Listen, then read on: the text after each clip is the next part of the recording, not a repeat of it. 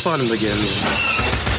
A long time ago, in a galaxy far, far away. This is Rebel Force Radio, Your source for the Force. Star Wars news and commentary. With Jason Swank and Jimmy Mack. I've seen Star Wars 500 times. Star Wars number one. This station is now the ultimate power in the universe. I suggest we use it. Now it's time for Rebel Force Radio. We would be honored if you would join us. Chut chut, everyone. Welcome back to Rebel Force Radio, your source for the Force. Oh, big show this week. Huge. Huge.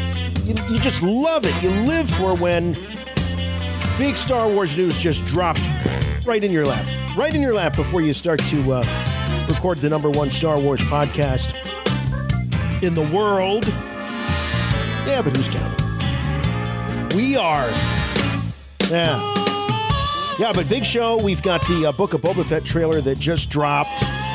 And um, we're going to break it all down for you here in uh, due time. Uh, also, surprise Book of Boba Fett casting uh, confirmed. Uh, I- no spoilers uh, until we get to the story, but I tell you what, I'm a real maniac for this actress. I had to. I'm sorry. I had to. I, I had to. I know. I know. Grown. Grown. Uh, also, Seth Green uh, talking a little bit more detours. Uh, every seems like everywhere this guy goes, um, he's got he's he's asked. There's so much Star Wars going on, and the question is obvious. We've all been asking ourselves, "Where's detours?" Uh, we heard rumors that it was going to be released uh, some time ago, back timed around May the fourth. If I tell you what, if a global pandemic wasn't enough and a, and a shortage of, of entertainment during the beginning part of that pandemic wasn't enough to pull detours out of mothballs. I don't know what is. Uh, also, some follow up to our, uh, our our spooky talk of the spirit of Qui Gon. Um, we'll be talking a little bit more about that from last week. And uh, speaking of Force ghosts, I, I sense a disturbance in the Force. No, it's not a Force ghost. It's my good friend and yours from Chicago, Jimmy Mack. Could be a Force ghost. Luke. Luke. Hey, Jason. Hey, Star Wars fans. So after you after you go off to uh, that big Star Wars podcast in the sky, is that how you're going to come through? I mean, you're still going to do the show even after you've passed on to the netherworld of the Force, right? Well, I'll tell you, Swank. the netherworld of the Force is a more dicey connection than Skype. Ooh. And you know how bad that Skype? is. We used to talk on Skype, and it would all of a sudden interrupt us while we were talking. what, what, what, what, was that all about, Luke? Luke. La la la la Luke.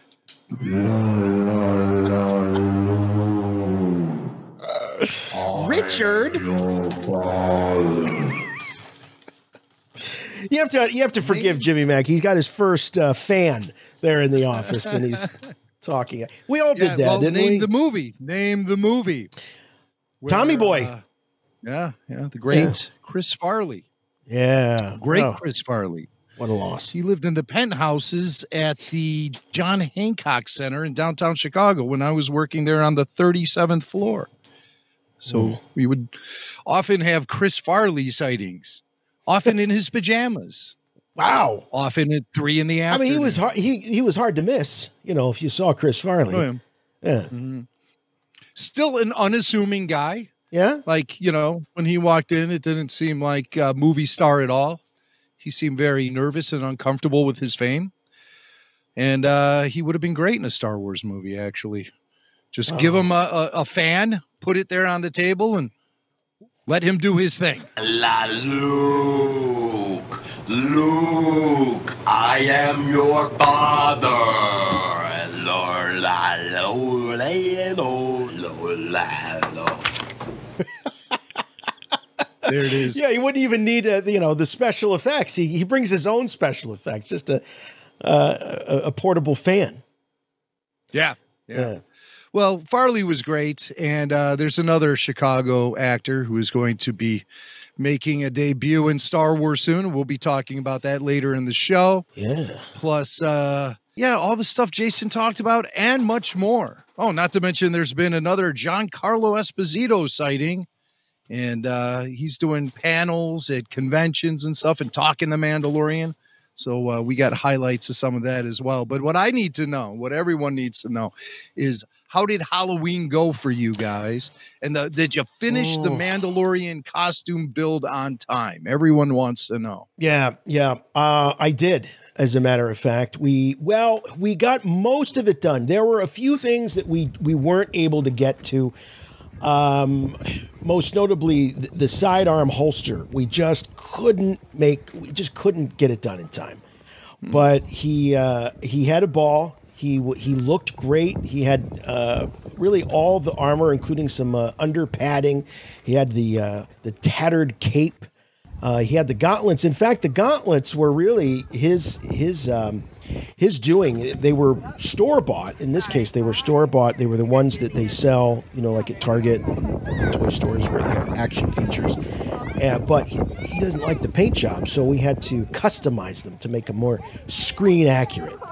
Um, but yeah, he he had a great time. So I'm showing some uh, some video here. You can also see some of this video on the official Rebel Force Radio Instagram feed. But uh, this photo, I think, really does it justice because you can see the great uh, uh, rifle. You know the Mandalorian rifle, and he's got the uh, the shells there for for the disintegrator rifle, and uh, yeah, we, we had a good time. He had he got a lot of loot.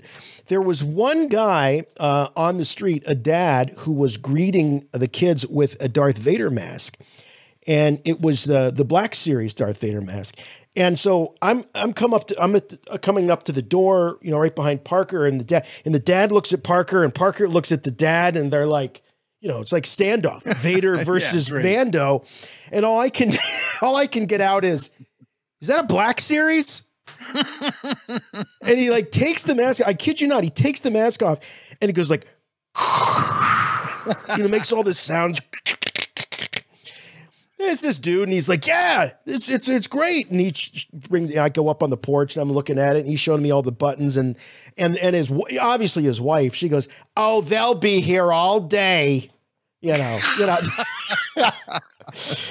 Well, I had a marvelous time in my Halloween. Uh, we do a five hour window for trick or treating. Wow. Three to eight. So oh, I manned need to move to your neighborhood. I uh I manned the front porch with uh, a bottle of wine. Oh, there's a picture of me right there. And I'm wearing my Marc Ecko Chewbacca jacket, fully furred with the bandolier and uh, hood up.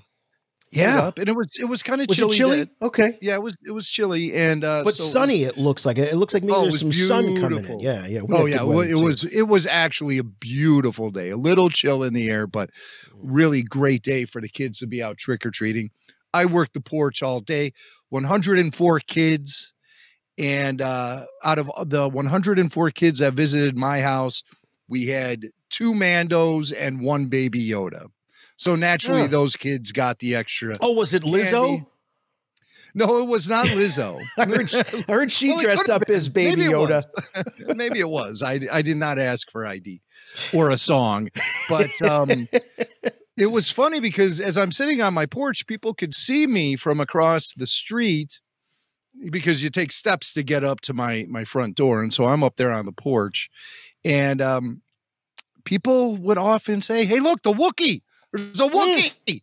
Look at the Wookie!" And they'd They got it. to growl and stuff. But and I was shocked that so many people identified me as the Wookiee and not Chewbacca. They would just say, "There's Wow. the Wookiee." There's the Wookiee. Well, I'm obviously not Chewbacca, but Right. you know, uh, if you use your imagination, I could be.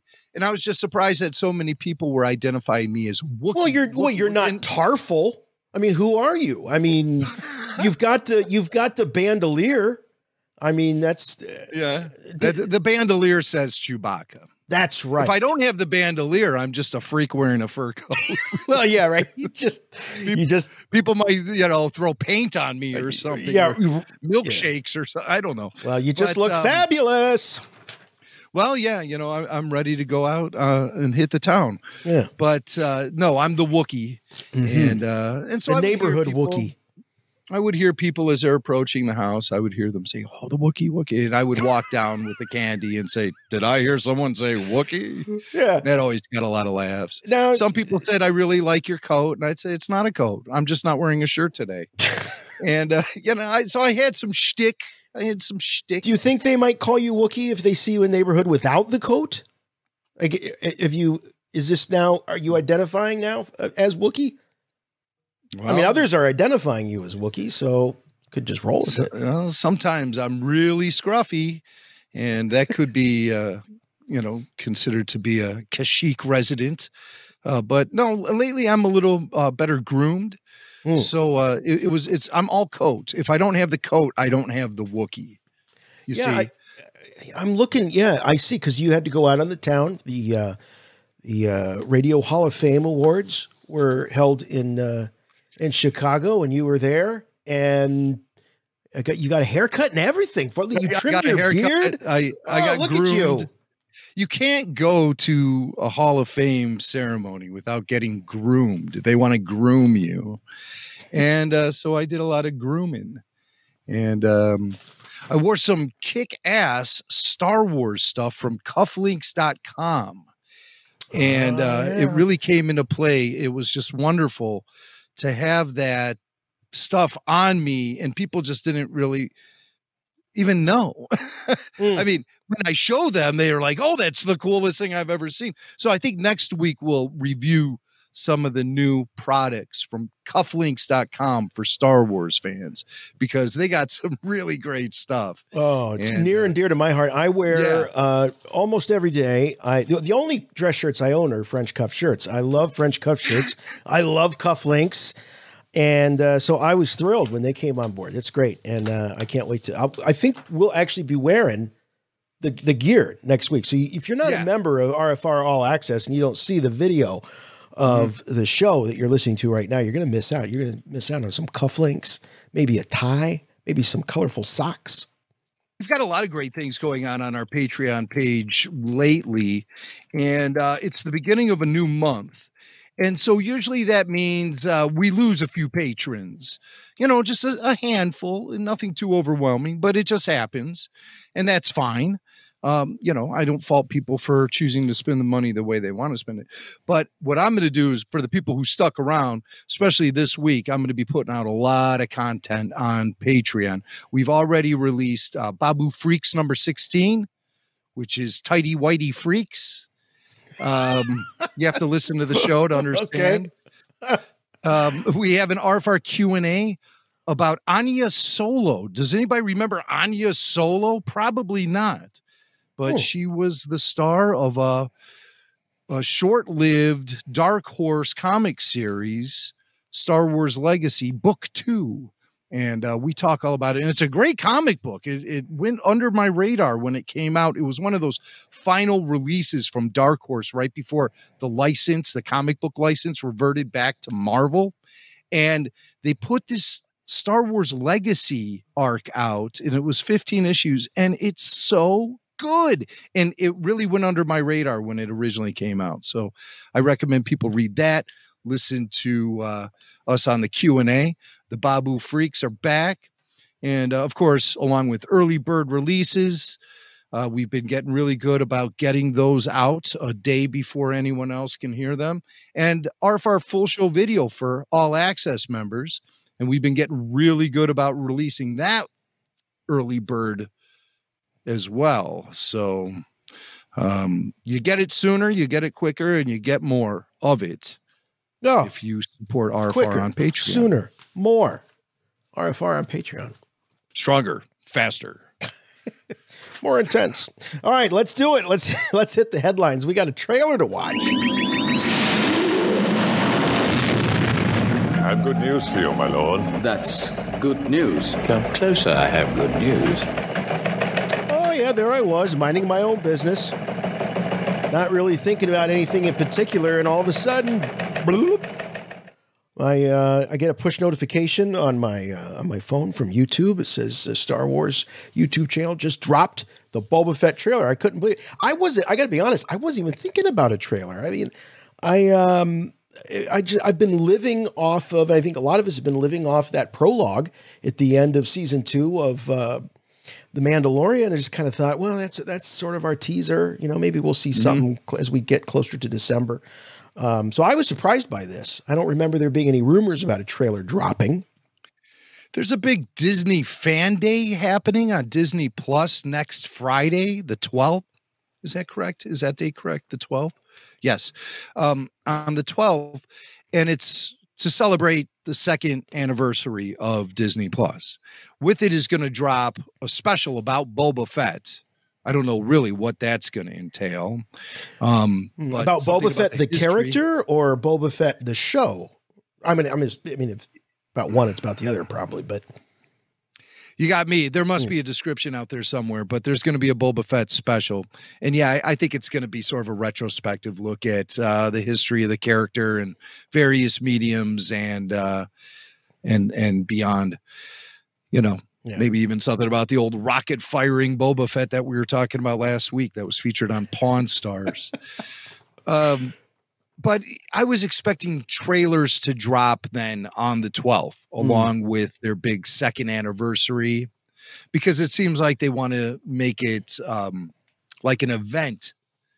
And I was thinking in terms of the big Disney Investor Day event from last year, where they gave us the lowdown on all the shows they're working on and uh, information about those shows and Rogue Squadron, etc. I was hoping Mm. for something maybe not as massive as that was massive, Mm. but but something you know that we could sink our teeth into, and it might happen. It might happen, but for all we know, it's just the Boba Fett special that's going to happen on the 12th.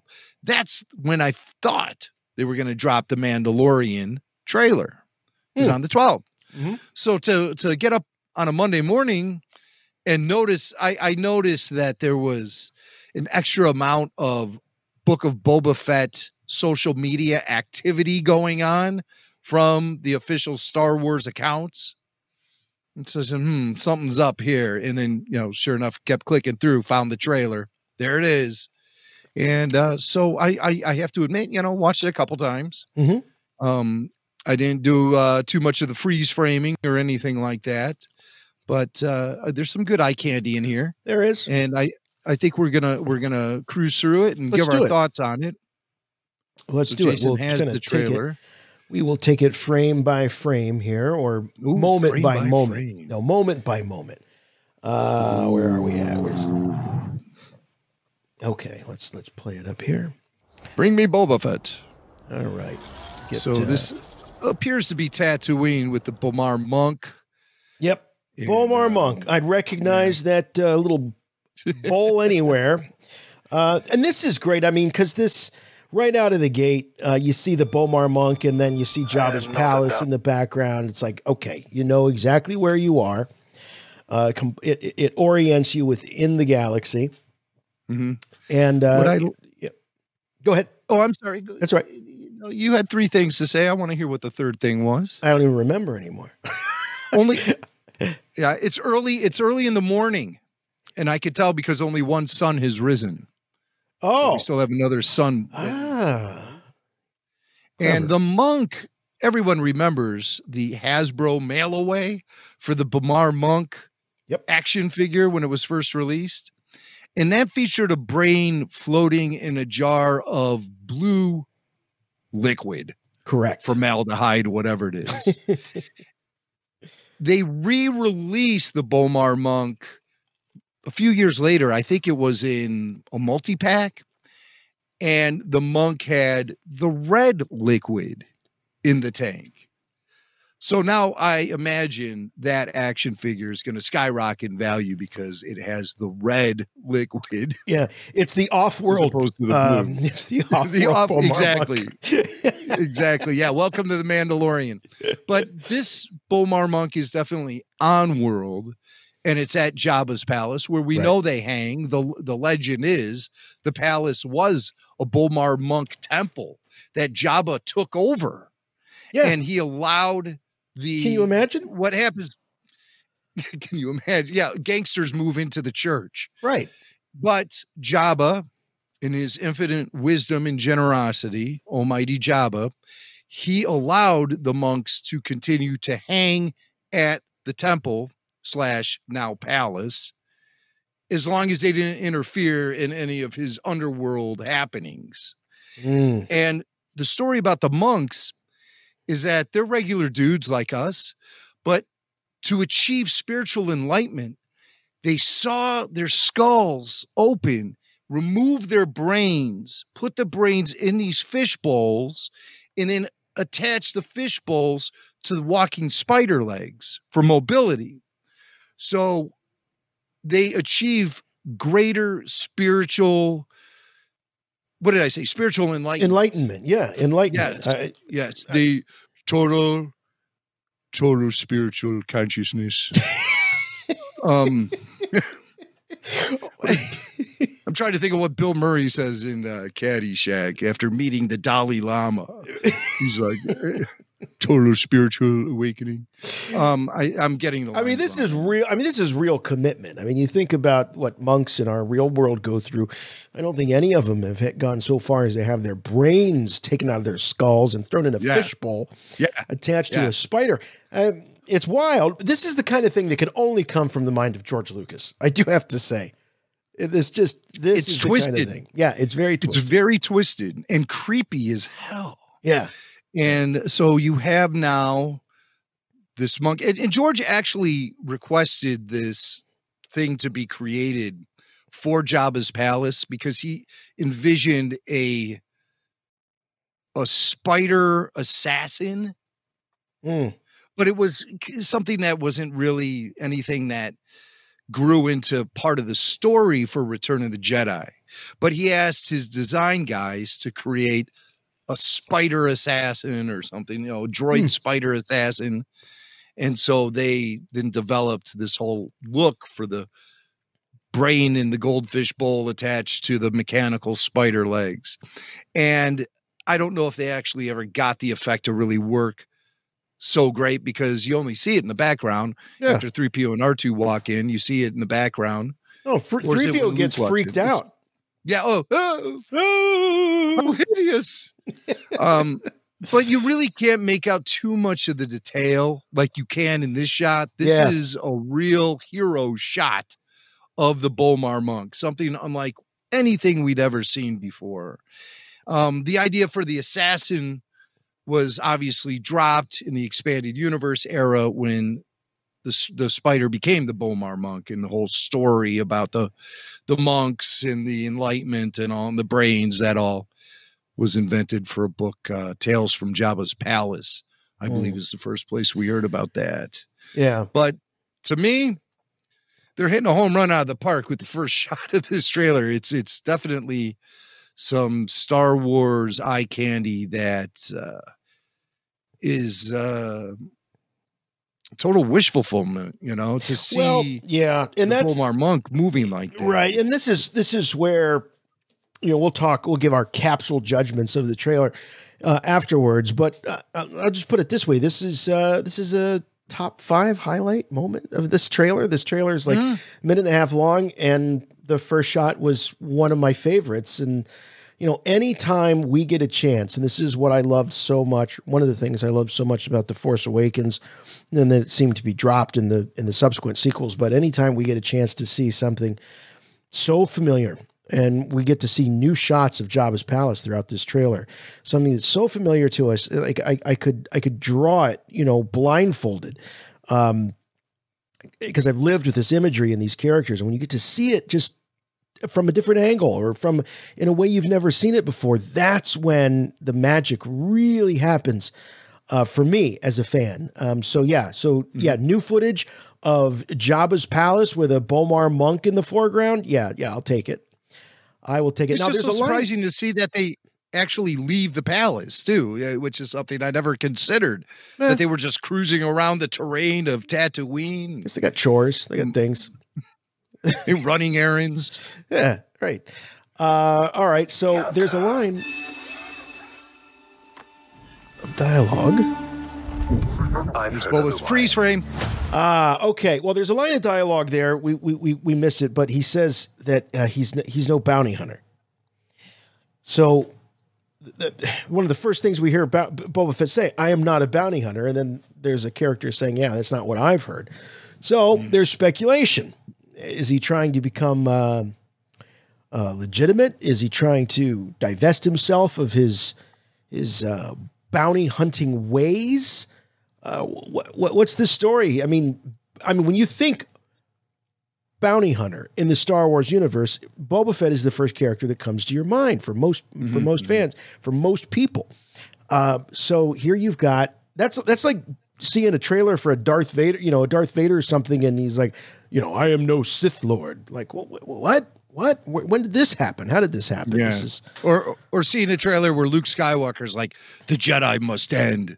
I mean, what, what's that all about? I mean, could you Yeah, imagine? yeah, right. something like that. Oh no, they would never do that. But anyway, so he says he's no bounty hunter, and then you hear this Ithorian, which, which, which later you learn is this Ithorian character, uh, say that's not what I've heard. Um, but uh, yeah, so we'll see. Why is he? Why is he not identifying as bounty hunter anymore? Strange. Mm-hmm. Now, uh, a lot of people are talking about Tim Morrison's appearance, facial appearance. Yeah. this show vastly different from what we saw in The Mandalorian. And there are two schools of thought here. Number one, some of this stuff is a flashback. So it happened prior to him getting scarred and deformed in the Sarlacc pit. Or he took a bacta bath. And I'm leaning more toward the latter, bacta bath. And Mm. I, I, I want to point out the thing that you see to Boba's right in this shot.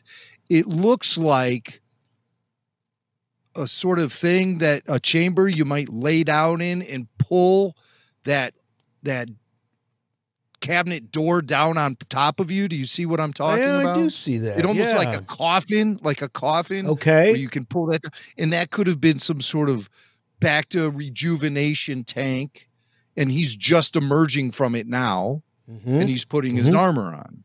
I see. That's that's what I that's my speculation. I don't know if anybody else has been talking about this online, but um, So he's taking better care of his skin. He wants to get rid Well, yeah. of all of the uh yeah, yeah, the this the scarring and the burn marks and all of that. Yeah, well what, when we get through this we'll we'll show you. We've got some uh photos of the before and after. We'll take a look at that, but Yeah.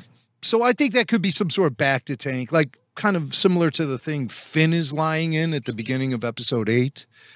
When he's Oh, yeah, and He's right. got the bacta suit on. Maybe we'll have Boba with a bacta suit on. I prefer the free floating in the tank. Yeah. la Mark Hamill, Empire Strikes Back. with the or- big diaper on. yeah, yeah. Oh, diaper is that's a prerequisite. It has to happen. um, or even, you know, Darth Vader in the bacta tank in Rogue One. That's good stuff. So this So is more don't like, a bacta this back is to more like a bacta tanning bed. I think that uh, he's got Okay. going on. That's more what it looks like. A tanning bed, not a coffin. A Yeah. tanning bed. So he sat in there and instead of catching UV rays, he is catching Bacta sprays. Sprays, not rays. I like it. uh, all right. So is putting the helmet on. There's some more dings to his armor, by the way. Uh, you know, Yes. at the end of uh, Mando season two, he was like, he had just got the airbrush out and painted. them. Right, right. Yeah, that was very fresh. But he's been on some adventures since then. I think so. You is see the Lucasfilm cool. logo. Yeah. Yeah. Like the Lucasfilm logo with the boba colors. Boba colors. Uh, this is some very casual Star Wars um, denizens. I know that you sit on the throne. Call them the denizens. All right, freeze frame. Yep. We have an Ithorian and a Twi'lek. And um the, the place, uh, the walls remind me of some Ralph McQuarrie concept art designs. Yeah. I don't I don't know if that's actually accurate, but um, it's kind of what it reminds me of things I've Hmm. seen before. And then this cat, he's sitting in a throne of some sort, almost looks like a captain's chair on board a Federation starship. Yeah, but he's got some uh, knickknacks scattered about. I think this is another. I, I'm led to believe that this is maybe another gangster, another boss, uh, another member of a you know from another leader of a of a family, a crime family or something. wearing a caftan, Mm-hmm. and he has the Ithorian translator device hooked up to his head because Ithorians have two mouths on both, you know, one mouth on each side of the head, and they speak in stereo. And so he has the little translator microphones on both sides, and then that translates what he's saying from Ithorian into I know people who speak out of both sides of their mouth. yeah, yeah. I, I've been employed by many of them over the years. Oh, all right. So we got the Ithorian. That's that's that's pretty cool. You know, you, a hammerhead. I'm all about it. That's great. And it, it- and it thank God for the Mandalorian and Filoni and Favreau that are giving us those familiar creatures that we have. Yeah. You yes. know, I mean, right out of the gate, we you know they're not messing around with these fleshy, pink colored, uh, you know, J.J. Abrams type monsters. No, we've got a we've got a hammerhead and we've got a Twi'lek. Boom, there you go. and the monk. And the B'omarr monk, right? This uh, aerial shot of um, some sort of uh, city, uh, maybe City Ta- in the valley of- yeah. Well, okay. A lot of people have been speculating this is a city on Tatooine. It could be part of Mos Eisley that we never saw before, or a larger look at Mos Espa. Mhm. But I think that this city is too massive to be on Tatooine. I agree. This is not It's the planet like- the farthest from the center of the universe. This is Yes. yeah, too populous. too populous. It's too big, uh, too widespread. That's too much activity for Tatooine. It's too much action for Tatooine, a city Right. like this, a sprawling metropolis like this. It's very impressive. It, it reminds me of Jedha City a little bit, Yes, just simply for the fact that it's, it's Yes. sunk down. Paul Bateman had a few things to say about this. He he was really just blown away by what they can do on a TV budget. And he uh let's see here. What did Paul have to say? Oh, my notes are messed up. He says, uh, looks like an early Mos Espa design Doug Chiang created for the Phantom Menace. Mm. And then he put the artwork online. Oh, okay. So we um, can we, don't can want that to we, happen. we can show that at the end here once we get. Yeah, we'll show that at the end. We'll talk about it at the end. But that's uh, what Paul's uh, comparing it to. He has some Doug Chiang concept art from the prequels. Yeah, you definitely see like in in in that valley, and you see the the, the structure. Yeah, very similar, very similar. All right, let's see. Moving along here. Oh, and the great great shot of the throne. Um, doesn't have to be quite as big as it used to back in Jabba's day, but uh, No, no, it's, it's bib sized. yeah, It's a bib sized throne. yeah, I do. Filled with fear. But uh, now he's talking about the difference here between the way Jabba ruled and the way that um, that that he intends to rule. He says Jabba ruled by fear, and then I think he, he follows it up with saying, "I will rule by respect" or something along those lines. Yeah. Um, so, uh, you know, he, right right away here we know that he he intends to be a different type of leader, a different type of of of crime boss. It's not about um, making people uh, you know doing th- people doing things because they don't want to be fed to the rancor. It's it's about maybe adding a layer of respect and honor, I suppose. Um, Yeah, I guess you know, like what you would see with the mafiosos and Yeah. stuff. You know, kiss, kissing the Godfather's ring. things like that, I, I think is more what he's leaning toward as opposed to just being a brute. Right. Who, Right. you know, because he probably considers that to be part of Jabba's downfall is uh, just being a, a brute and doing things, you know, torturing people, marching them on the plank, and all of this business. A little theatrical, huh? Yeah, yeah, and just for his own selfish pleasure. He's Yeah, taking- right. Jabba was taking his eyes off the prize a little too often, and I think Uh-huh. Boba's looking to remedy that with some uh, new age management style that he's going to be bringing to the table. I'm going to be bringing in 360 reviews. We're all going to sit around. If a Gamorrean comes to me and says, "Boss, I need a mental health day," I will be very understanding. Yeah, right. It's going to get all uh, all modern. There's going to be foosball tables in the break rooms at Jabba's palace. Yeah, Some right, right. It'll be like PlayStations. yeah, it'll be like Apple. Yeah, where they, you know, they have like weird little things in the lobby, like a Yeah. a ping pong ball pool that you can jump into, or just like real excessive stuff. Yeah. All right. I take care of my employees, and then I send them on vacations to the Polynesian spa in New Zealand. Ah, New Zealand. All right, so we see some action here. Oh, here's Uh, the, we actually see another actor. Oh, um, and I wasn't talking about Ming Na Wen, who we know is in the show, but the dude. There's a, a- apparently this is A one of the guards. Uh-huh. Uh, th- this must be uh, one of the thugs working for the Ithorian boss Mm-hmm. because they're in the same, the same. yeah, you can tell by the, room, if the, the walls there. Yeah. Yeah. Yeah. And some people were spreading a rumor online that this particular actor is, is Daniel Logan. Uh, that's not true. that is not Yeah, true. not that is Daniel not Logan. Daniel Logan. No, sir. This guy's got maybe 10 years on Logan. Yeah. And uh, yeah, he looks much different.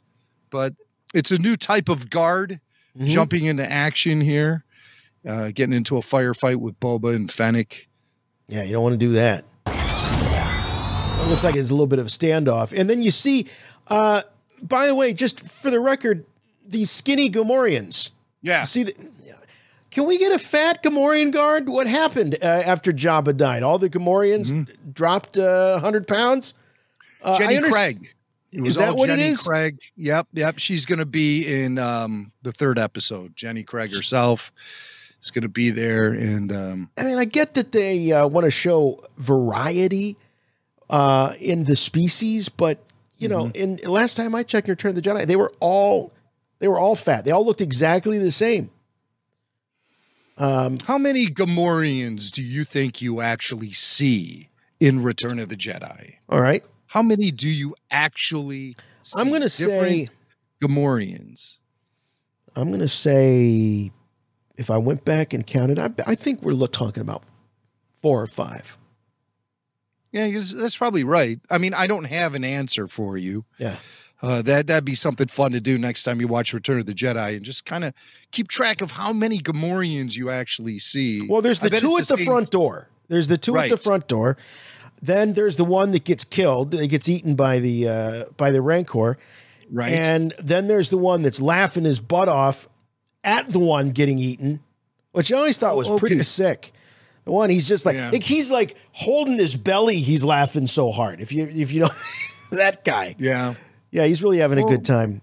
Maybe that Gamorrean had a really attractive Gamorrean wife, and she would be back on the market in the event of his unfortunate demise.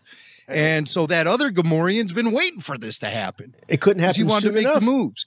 Well, Couldn't happen soon enough. This is I like a Seinfeld episode going on in Jabba's palace. I'm just looking at this Gamorrean guard and I'm like, he had that stomach stapling surgery. He's like Al Roker walking around there now.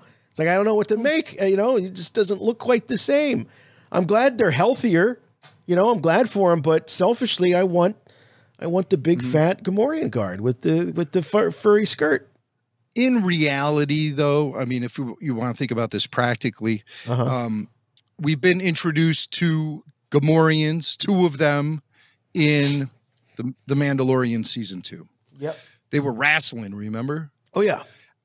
I'll bet you anything that these are the exact same two Gamorreans with a few costume tweaks Yeah. just to keep the budget on the down Yeah. low and and and just reuse that because I find it very unlikely that any original Gamorrean costume still exists. No, from the because early the, the, the latex and all that that starts to Right. deteriorate. But you know they could they could certainly replicate it, um, but they don't. They obviously don't want to, or they would. You know, I mean, it's not like they don't know what the Gamorreans looked like in Return of the Jedi. I'm just saying, I'm hoping for a fatty Gamorrean guard. That's all. That's fair. That's Yeah. fair. I mean, Give you me a don't fat go to one and a see skinny one. you don't go to see sumo wrestling to see a couple of twigs run at each other in the ring. You, you want to see some big beefy dudes going at it. You know, That's that's right. with all That's- the power that they bring. So, okay, yes, Right. And here's Ming Na Wen. You know, uh, she uh, bathes in the fountain of youth every day. This woman's absolutely beautiful, and I love her character, and I love what she brings to the uh, to the Star Wars universe. And uh, yeah, I just she Yeah. she steals the she steals this the uh, the scenes when she's in them. yeah. She's There's something great. so chill about her. Yeah, She just goes through these these episodes as Fennec Shan just with with such coolness and confidence that I think is, is something pretty cool about. now you've her, gone on record, Jim, as saying that you believe that she is an android. That we're going to find out that she I- is an know, android. I think that could be true. Yeah. Because she takes that that blaster bolt into the stomach. Mm-hmm. And when they question her return, she slides open that panel in her abdomen and shows off mechanics in there and just Right. closes it up. And so you can think to yourself, oh, well, they used those sort of cybernetics to heal her. But what if she always has been a, an android and she's just saying, hey, you can shoot me, but these circuits can be repaired? Yeah. That's what I was I, I was thinking. I, you know, common sense tells me that she became an android out of necessity because of the blaster bolts. But I'm just presenting that as an alternative to what most people Okay. assume about the character. Well, all right, but I, I I don't know because even though we're talking about Star Wars and it's a galaxy far, far away, and you have to suspend your disbelief. I mean, it, it's obvious that she had been lying there after she was uh, presumably killed, but certainly shot in the stomach at point blank range by that guy. I can't think of his name, but he's so annoying. Um, in in season one, Mhm. and uh, so she must have been laying there a long time. She would have bled out. So I, I, I actually think that you're onto something. I don't think that she was fixed after that. I think she was she was part machine before she took that blaster to the to the stomach. Because otherwise, I don't. How would she have survived that? more machine than woman. Yeah. Twisted and evil. Yeah. It also explains why she doesn't age. All right, so there Wow, she is. There you go. Oh. Now here you can really see uh, Jim. Now uh, this shot here of Tem Morrison as Boba Fett taking the helmet off. This very well may be some sort of a flashback. However, the flight suit underneath looks Yeah. pretty much on par with with new new Fett. We have not seen, uh, as far as I know, spoiler alert in this trailer, classic Fett, classic original trilogy Fett look. Though I think it's inevitable that we will see that in this series, but I don't think we see it at all in the trailer. But his No, skin is much better, much Yeah. better. Yeah, so that rules out flashback, considering he's wearing the uh, the black cloak undergarment. hmm Yeah, as opposed to that gray mechanic suit, flight suit, whatever you want to call it. And that's the device I thought they'd really be using to to show the difference between flashbacks and current timeline Boba. Mm. So we'll have to wait and see. If I mean, there might not be any flashbacks at all. I find that hard to believe, though. I think there will be. I I, I think yeah, that I do too. I think there's going to be, if I had to guess, at a, a whole episode almost where he recounts what happened to him after the the, the, the Mhm. after Jabba. I mean, maybe he sits there and tells that Ithorian crime boss what happened. Oh, Yeah. Jabba, I thought Jabba, you know, died. Well, let me tell you what happened. You know, um, uh, that would be great. I'd love to see it. I think we will see it, and um, again, I, I want to talk a little bit about what we don't see in this trailer and why it sort of frustrates me a little bit when we get through. But there's a lot to love. All right, so there's Boba taking. The, so we've seen him take the helmet off, put the helmet on. There's a lot of helmet, you know, back and forth. Mm-hmm. Well, unlike the Mandalorian, he doesn't right. necessarily abide by that creed. Streaming exclusively on Disney Plus. You were all once Another. Beautiful shot aerial Jabba. shot there, yeah, of of of, uh, of Jabba's palace coming in from a from a different angle. Um, yeah, that's not the angle that we see 3PO and R2 approach It looks in, like uh, something's in Jedi. there. Yeah, there does. Like, is it a person on a speeder bike or is it somebody walking? Is it? Yep, you're right. What is it? I, I'm actually scratching at my screen. you know, it's not your Like screen because I have it on mine too. Came out from between my teeth and just landed on the screen, but there it is. Uh, all right. Let's see. Once captains under Jabba. Okay, so you were once captains under Jabba the Hutt. She's saying, and these are a bunch of uh, what are these guys with the Trandoshans. Are they? Yeah, well, they not all of them. Some of them are. and There's two some are Klatooinians. or Klatooinians. Klatooinians. Hey, you know what we missed in that shot? What? Hold on, I got to go back real quick. I got to go back to this shot of uh, Tem Morrison. I was just looking at the picture, Winian. and maybe you. He's got eyebrows.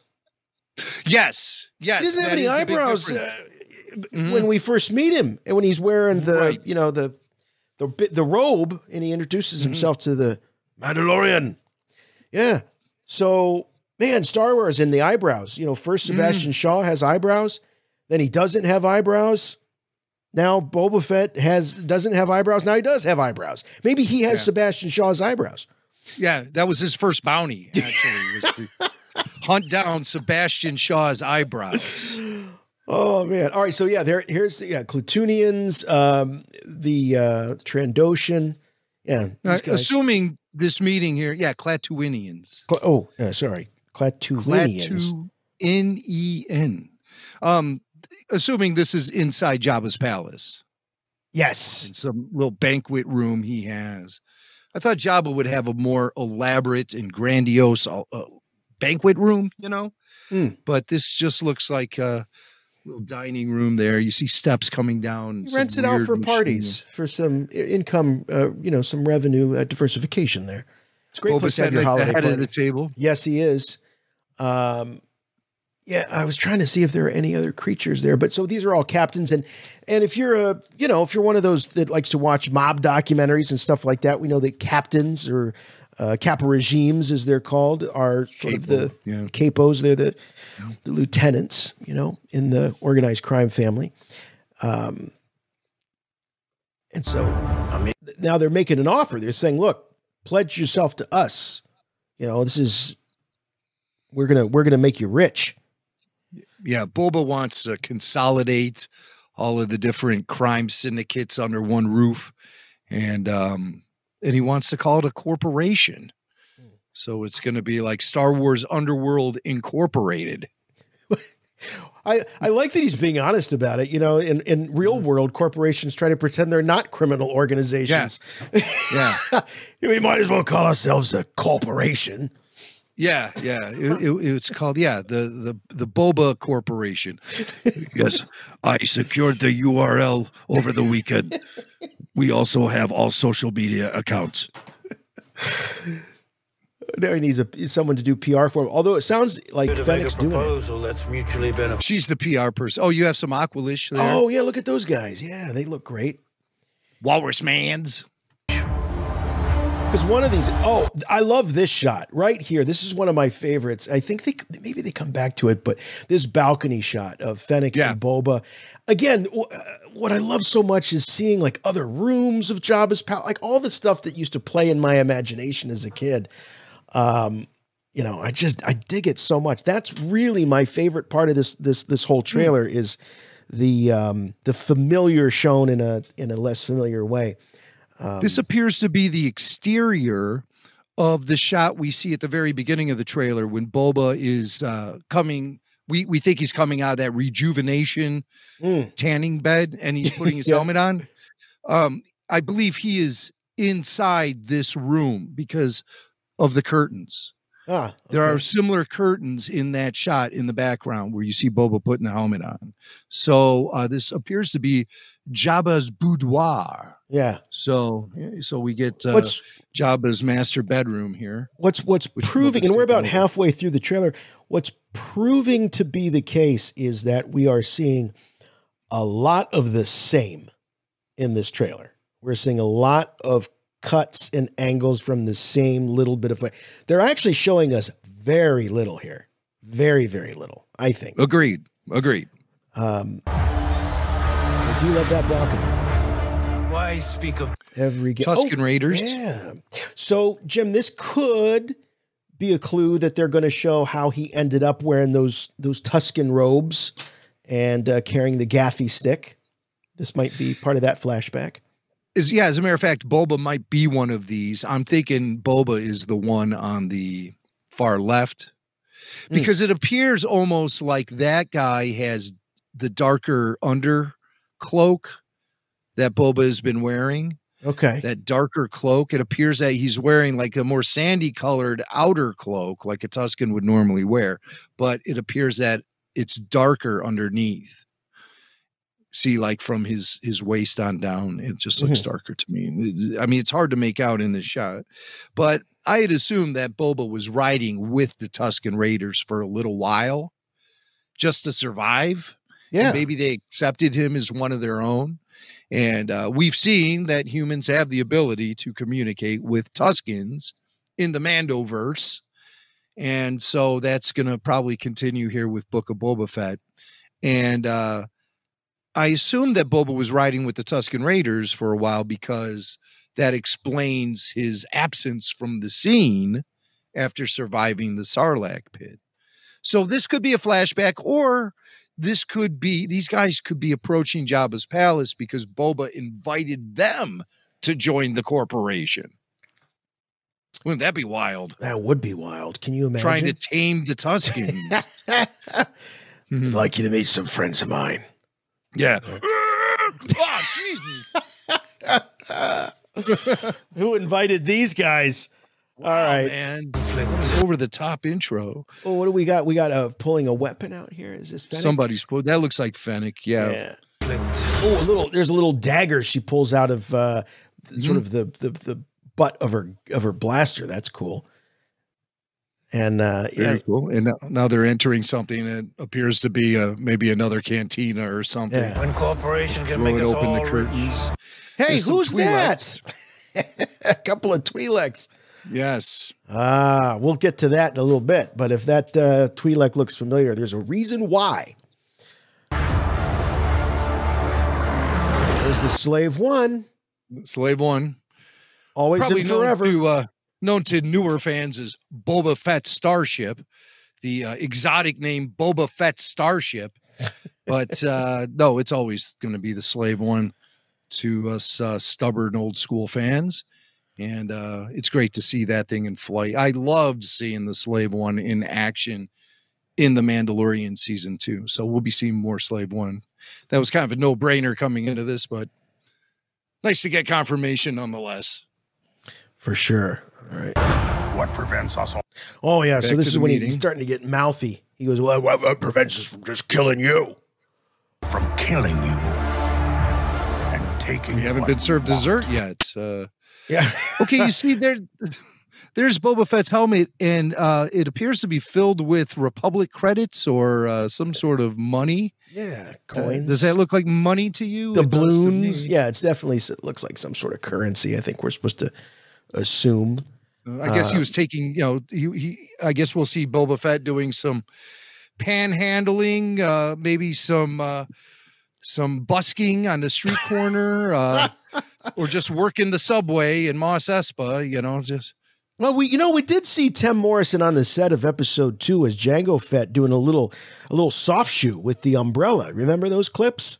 yeah, yeah, dancing for tips. Yeah. Spare some change if you would be so kind. I'm taking donations for my high school basketball team. Or maybe he throws Uh, yeah, them in there just to make the helmet fit a little better, you know, like little little wedges. It's the only place he he keeps his money. well, that's people true. Keep it in their shoe. He just keeps it up here. I keep it up here. I got my mind on my money and my money on my mind. Sipping gin and juice. it is a bit of an eerie uh, image of the and and kind of uh, reminds you a little bit of the you know the Jango helmet rolling across the uh, Geonosian uh, sand.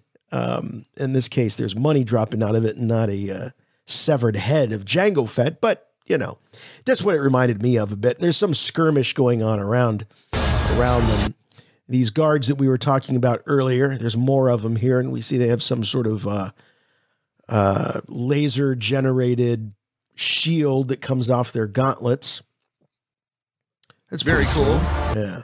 I mean, have we seen that in Star Wars before? I think we have. Um, maybe on a smaller scale. Aren't the Gungan I seem to shields? uh, aren't they sort of yeah, generated? they're similar to that. Yeah, you're right. The Gungan shields, of course, a classic. Um, also, I, I remember the Mando had little shields on his gauntlet, didn't he? That he was using to deflect blows Yes. from yes, he did. from Moff Gideon and the dark sabers. So, uh, yeah. the shield technology. We're seeing this again, and I, I I think we even saw it in the Clone Wars at some point as well. Uh, I think you're right. That does sound familiar. Um, so this looks like one of those moments where they realize they're outnumbered, and then maybe someone. What I got the feeling that this was the moment that someone is coming to help them, or like because things look pretty hopeless probably for Fennec and Boba at this point, and then this is sort of a moment of uh, yeah, something's about to change. Stand Standoff. Oh, we he's got that. he has that, that that psycho. that crazy look in his eye again. Look at him. Look at It's, him. uh, It's the psycho Tem Morrison look when he's dancing his his hakas.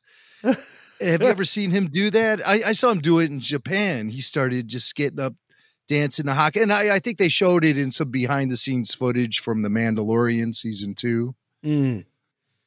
But Yeah. it's a, a Maori thing Mhm. where he does a, a tribal dance called a haka, and part of the display is to stick your tongue out and make crazy faces. And so it looks like Tem is incorporating some of that into Boba Fett's fighting style, and I think that's cool as hell.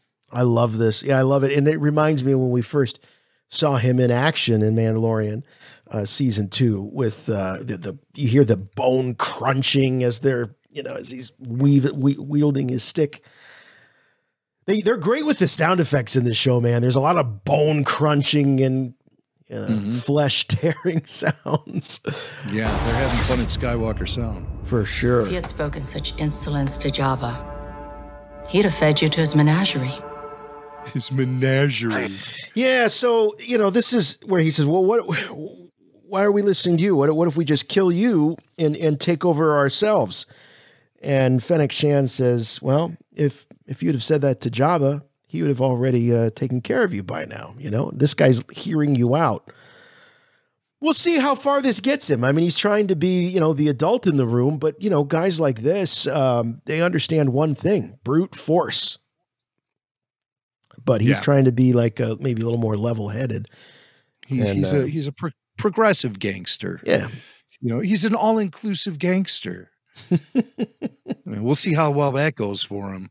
Yeah. More Klatooinians. Speak freely. And that's it. That is. It gets us excited just to see the very first footage from the show. But um, you know, in the history of Star Wars trailers, I don't think this one ranks very high. um, again, No. it's just nice to see the fresh look of the character, and but I mean, we don't even get any indication as to like any other actors who may be in the show. Uh, other Well, with one exception, We- though, with one exception, yeah, we, yes. we get one one reveal. One reveal, and uh, man, if you grew up in the in the eighties, uh, you know uh, Jennifer Beals, uh, made most famous by uh, her turn in um, Flashdance. Uh, so she looked she looked like this, uh, if you remember that. Oh yeah, and and this is her as a Twi'lek in uh, in Mandalorian. Now she's hot off of uh, the what is it? The L word. I think that was the or a spinoff of the L word. One of those shows. Um, Yeah. yeah, I- the L I word. Yeah, you know, Generation I- I- Q. I really only know her. Uh, she's a Chicago actress, and I really only know her from her big breakthrough in Flashdance. Yeah. She's had a career that's been pretty steady and strong since the 80s. She looks great and fantastic as a Twi'lek. Oh, she sure does. And uh, it, it's it's nice to have another familiar name in the cast roster for The Mandalorian, which is now a roster of three names. as far as we know, we right. have Tem Morrison, we have Well- Ming Na Wen, and now we have Jennifer Beals. this is uh just a little bit of a problem that I that I have, and and I this whole thing of secrecy in Star Wars kind of drives me a little nutty because I feel like ever since the "I am your father" moment was was blown by Dave Prowse, or wherever the story goes, that that Star Wars has been just synonymous, practically reinvented, you know, on set secrecy. And I, I mean, I get it. You don't want to be. There's a difference between being spoiled and and getting excited and getting something to to really get you excited. I think about that first trailer, Jim, for the Phantom Menace after Star Wars had been away for so long. They gave us a lot in that trailer. They gave us some great dialogue by Qui Gon Jinn. You believe it's this boy. I mean, you really got a sense of what it was about and they gave you a sense of how of scale of how big a picture this was going to be, especially with the Gungans coming over the the um, uh, the landscape there, uh, the horizon. This huge. This just doesn't feel that. It doesn't feel epic.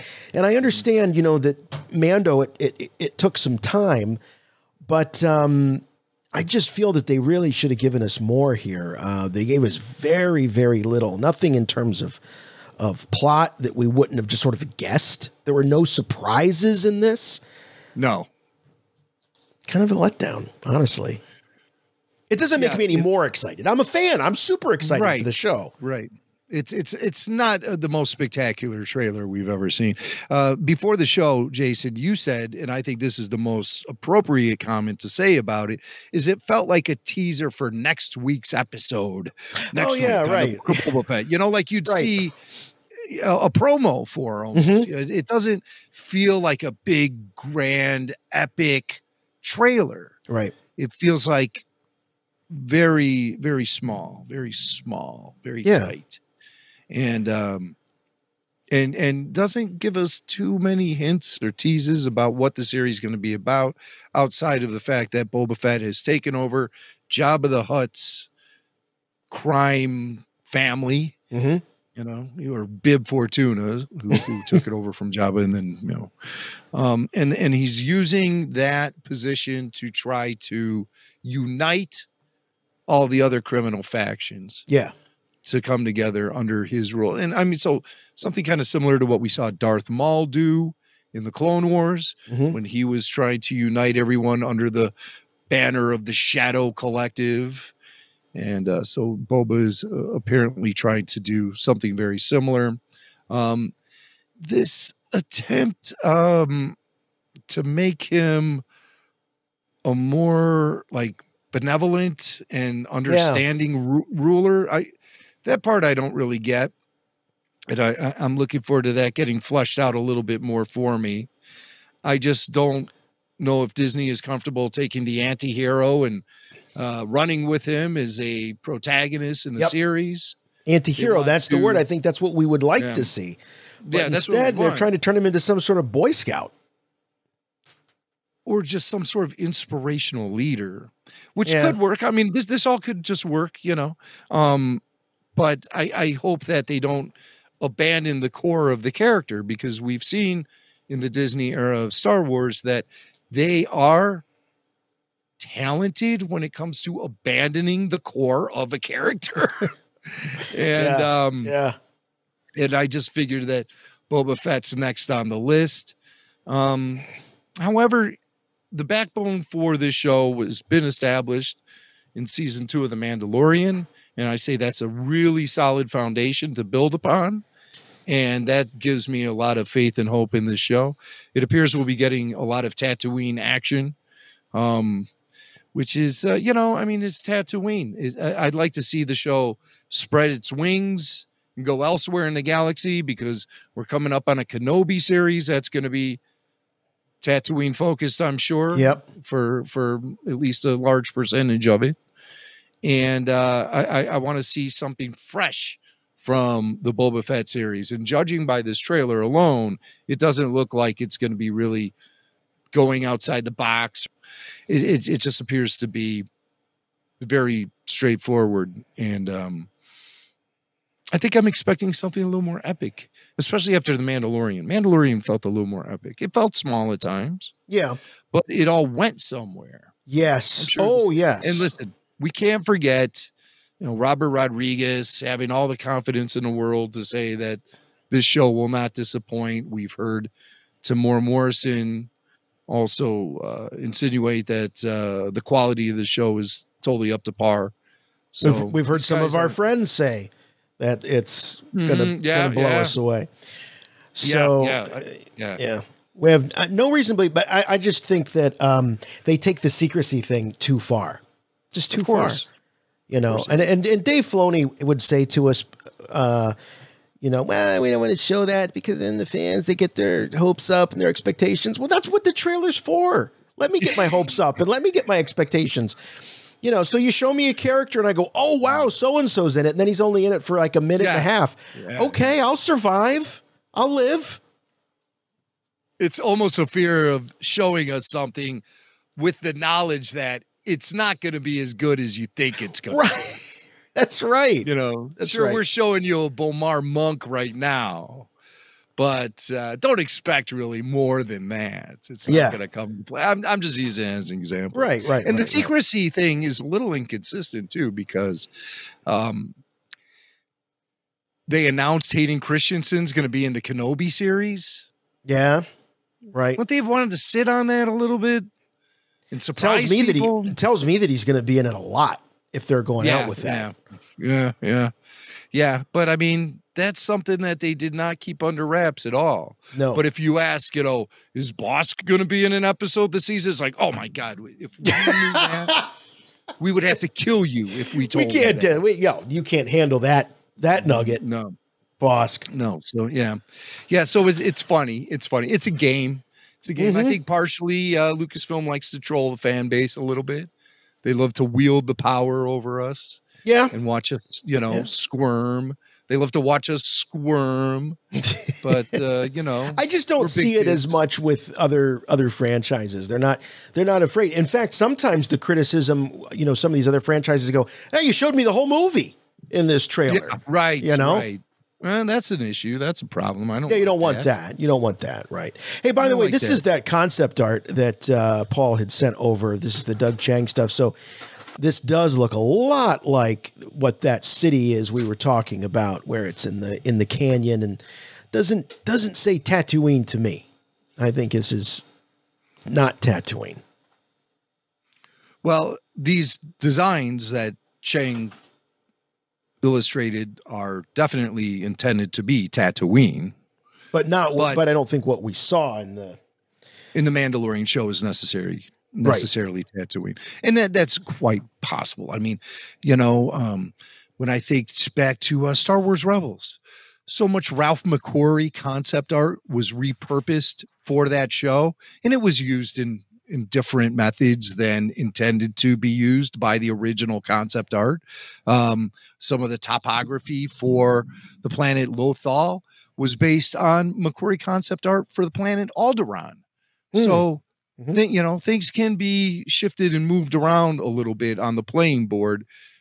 Yeah. Just depending on how well it fits the story. and weren't those ice spiders supposed to be on Hoth? On Dagobah. Oh, they were supposed to be on Dagobah. That's right. And they weren't ice Yes. spiders there. They were swamp spiders. No. No, no, they were making those in those little egg mounds and all that Yeah, stuff. That yeah, was yeah. supposed to be Dagobah, but it appeared in the Mandalorian season two. Then on that ice planet with the hot spa for Frog Lady. Oh, that's right. The hot springs, Hot yeah. spring. Hey, before we uh, wrap up our chat about uh, all things Boba Fett and Mandalorian, uh, Jim, you had mentioned earlier at the top of the show, Giancarlo Esposito. He's uh, uh, always a fan favorite when he hits the convention circuit, and he was recently at Fan Expo Denver.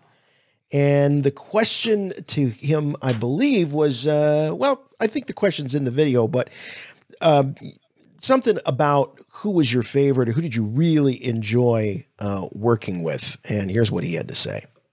In The Mandalorian, who is your favorite co-worker to work with? My goodness, uh, then, uh, okay, so you were asking me for one. Um, yeah, I have to say, and, and this may be, um, well, okay, I'll say it without hesitation. Um, Gina Carano.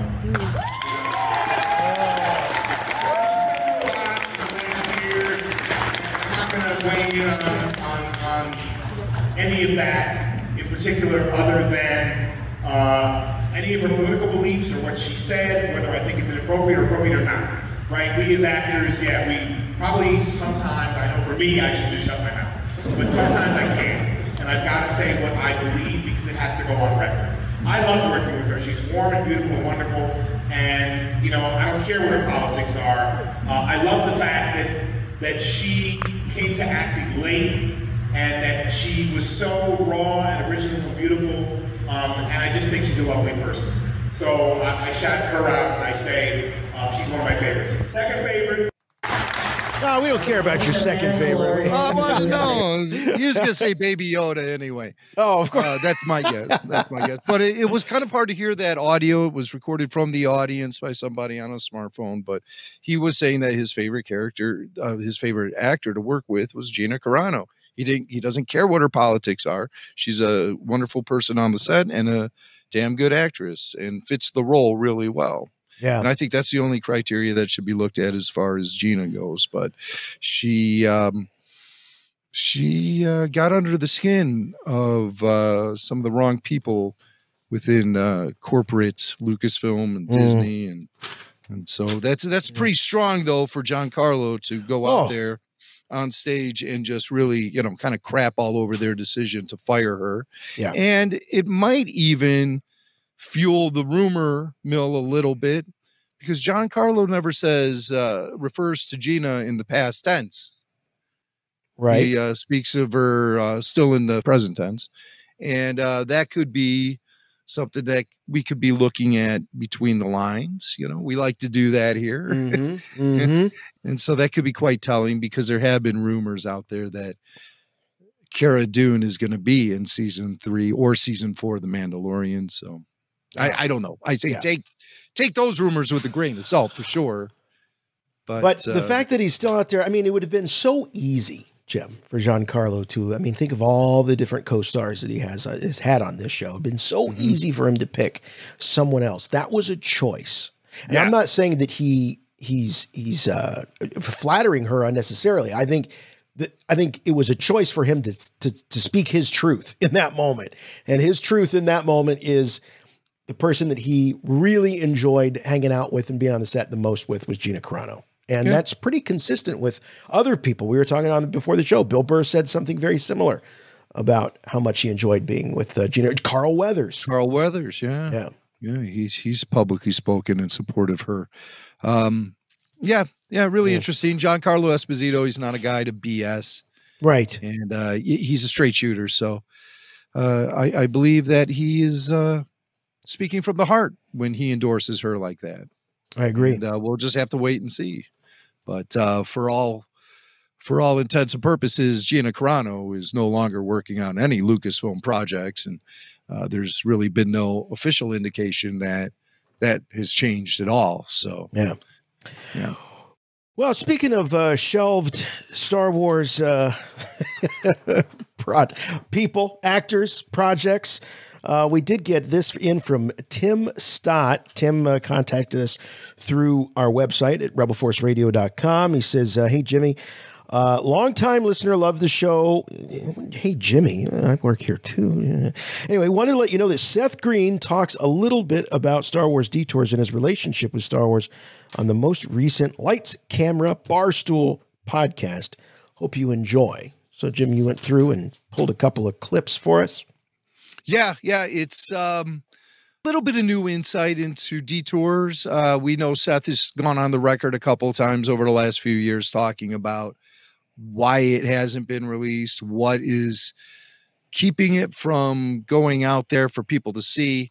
And uh, Seth discusses that here a little bit on uh, the Barstool podcast. It's an interesting lesson in in producing content, which is something that anybody that's ever produced content learns, which is that there's a a definite reality to things being made and never being exhibited. Um, some of this, I think, is more about the way in which it could be distributed and the fact that Lucasfilm has a, a clear mandate of the content they're going to release under the banner.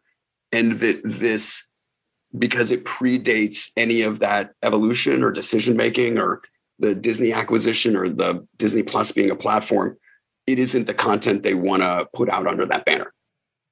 Yeah. Yeah. They just, it's not their thing. yeah. Anything thing. created by George Lucas, they they don't want anything to do with. And they made that clear when they rejected his sequel ideas, forcing George to walk away from it all. And Star Star Wars Detours was something he was working on there at the uh, Mhm. very end when the company was sold. Uh, they don't want to have anything to do with that. They canceled the Clone Wars. They canceled Star Wars 1313 and disbanded LucasArts as a video game producer. They also disbanded largely most of the Lucasfilm animation, just Right. keeping a few a few of the leadership on board. Notably Dave And, uh, Filoni. Yeah, yeah, Filoni and some of his handpicked guys. Yeah. But uh, yeah, D- Disney has made it absolutely clear they want nothing to do with the George Lucas era of Star Wars. They want to remold, rebrand, and reboot the entire franchise per their discretion. And uh, they own the company. So yeah, they bought the IP. They can do whatever it is. They can do whatever they want. They don't have to listen to the fans. I think that there is, thanks to Dave Filoni and Jon Favreau and others, I think there is a contingent inside the company that is Yes. continuing to make sure that the because they themselves are fans, they want what the, the what the fans desire. Yeah, and they also yeah. know at the end of the day that's what's going to make it work. You can't you cannot chase away the fans of a franchise like that and and expect to replace them all with new fans. It's never happened. It's never happened. In fact, we have enough evidence that it's nearly impossible. You can't reboot something and tick off and isolate the the the, the foundation. You just can't. That's right. Create something new if that's what you want to do.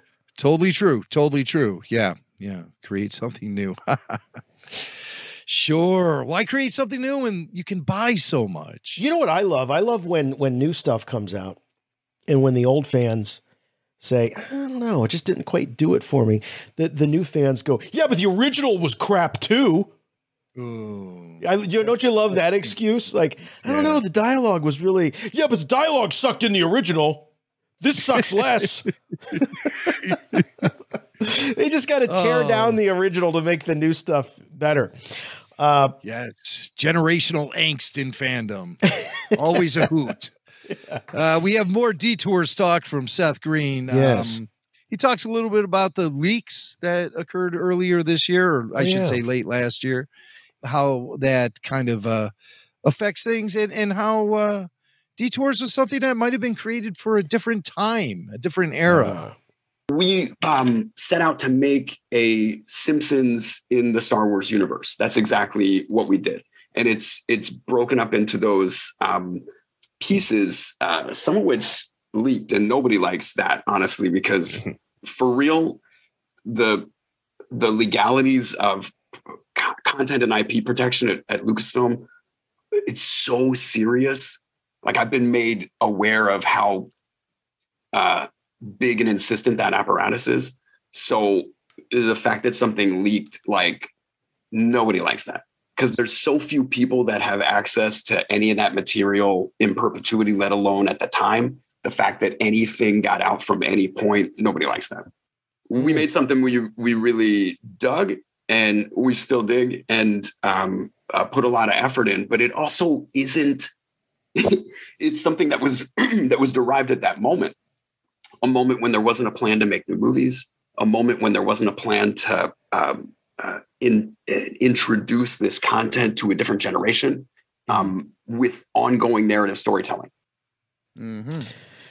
Yeah, it was um, very much of its time. And he, he brings up a good point. I mean, we as fans, we want to see everything. Um, and I think it would have its place, at least in terms of diehard fans that would appreciate and enjoy it for what it is. But to release it commercially and on a big platform and make a lot of hay over it, probably not the best idea. Right. At this And- phase. And perhaps some of the content is seriously dated at this point. Oh, it'd have to be. And It'd have to be. You know, the comedy could be going over everyone's heads. Well, Or, you know, people like us would be like, "Oh, I remember that." Well, funny to hear a reference to that. You know, Not right, not just the references, but the humor itself may be considered inappropriate now or Ooh, well, of offensive course. now. That that might be That's closer to the truth. that's a guarantee. And uh, so, you know, oh well, detours. Yeah. I actually was having a, a little bit of um, optimism about it coming out, especially after they posted up the Ewok movies and the Right. Clone Wars micro series Mhm. and the droids and the Ewoks animated stuff. And, and they fart out those Lego specials like crazy, and that stuff's totally ir- irreverent and silly and stupid. Um, so I can't see how you want to say, well, we're trying to introduce a whole new generation of Star Wars, and we don't want to confuse them with uh, parody and silliness and stuff when those Lego specials are coming out by the handful every year. Mm. Uh, I and, and I, I don't see anything in detours that tells me that uh, it's any more or less highbrow than those Lego specials. So- Yeah. Yeah, I, I almost get the sense that Lego has a very unique agreement with Right. with Lucasfilm. I've always Uh, thought that too. Yeah. Yeah, it's unlike any of the other licensees, Mm-hmm. and um, and, and it, it works. It works. I love the video games. The specials are good. I think. I don't think they're as quite as good as the uh, the first ones that came out. I think um, they've maybe lost the edge just a little bit. Um, but I think they're going for more of a more of a kid friendly audience more than, they are sort of the uh, you know the older fan. Absolutely. There's no question about that. I mean, we just saw the terrifying tales. Yeah, but if you compare that to the like the Yoda Chronicles, one of those first uh, specials that came out, um, it's good. It's good. I enjoyed it, but it didn't. There's some really laugh out loud, funny moments in the in the Yoda Chronicles, and um, the proof's in the pudding. I mean, my son he loves the Yoda Chronicles, and I sat down to watch the um, the the Halloween special and the Christmas special last year, and eh, it just kind of you know yeah. Where's he stand on the Freemaker adventures? Yeah, you know he hasn't seen any of those. I should uh, I should watch those with him because. Uh, but yeah, I don't know. But th- those were a lot closer to those original Lego specials several years ago. But anyway, so there it is. Detours likely to not see uh, the light of day, and if it and if the and if you do, I think it's going to be like you said, Jim. You compared it to when they released Clone Wars micro series and Droids and Ewoks. It's just kind of like hey, this, you know, you're going to see it on Jedi News.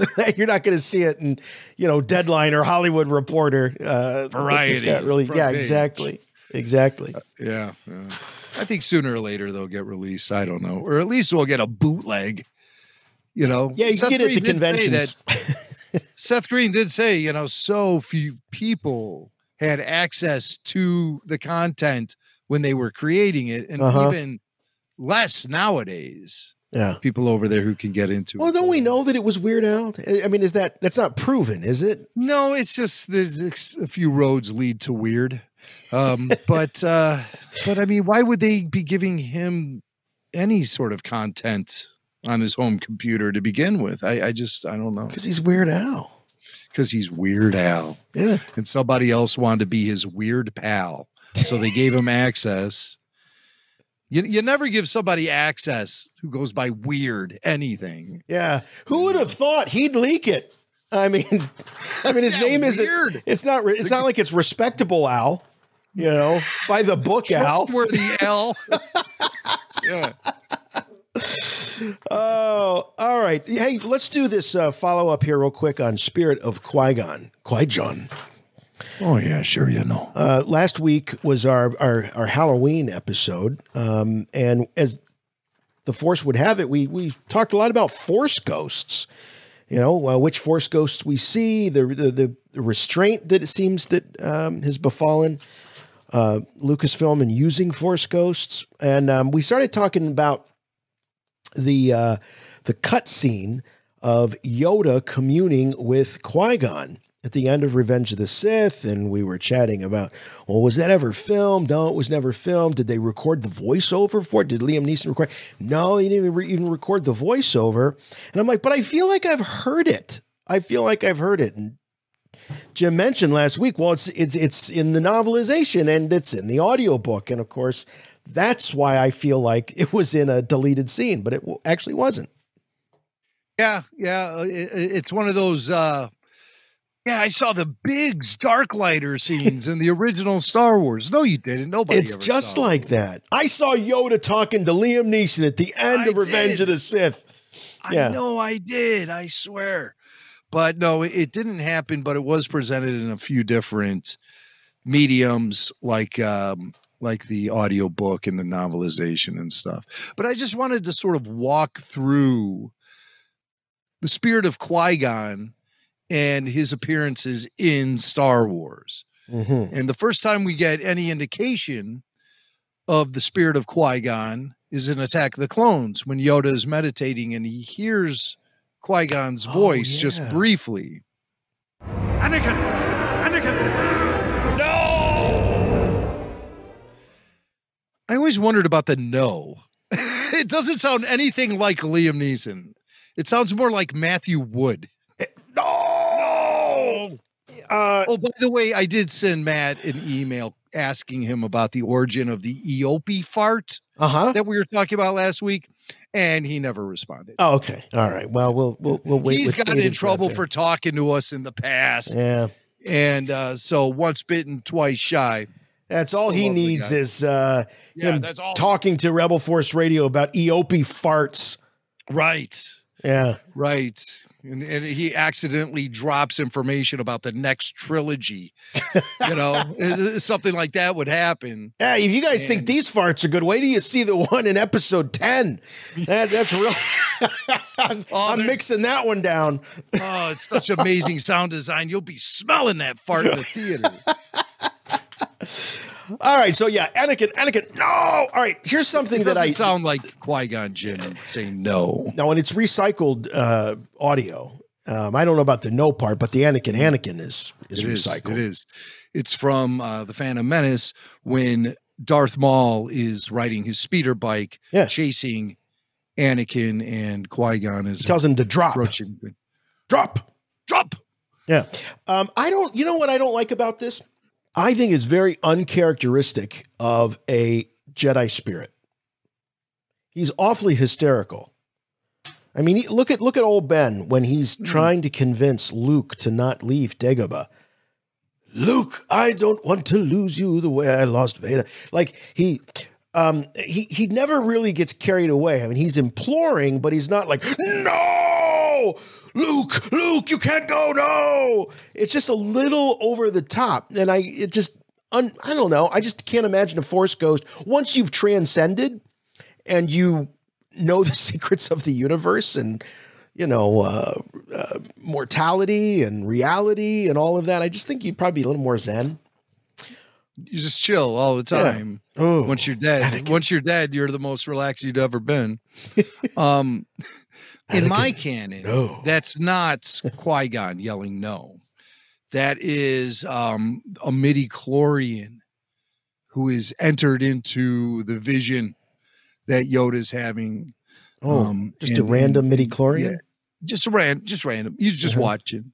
Yeah. You know, he's just watching and he yells no. Hmm. Um, that no is really weird. It's really, really weird. And it's definitely not Liam Neeson. No. Because that's about the best you'd get out of him. Yeah. No. Wait, wait. I let me try again, George. Oh yeah, here we go. No, no, no. I, I, I- George, I had way too many Marlboros this morning. no, no I, I can't do it. Can you have one of your sound guys maybe drop in the no part? I will got have Wood do it. Anakin, Anakin. See, I, I love that. The Anakin, Anakin. No, I, I George. Uh, That's George, it right we gotta- there. You just did it. That's it.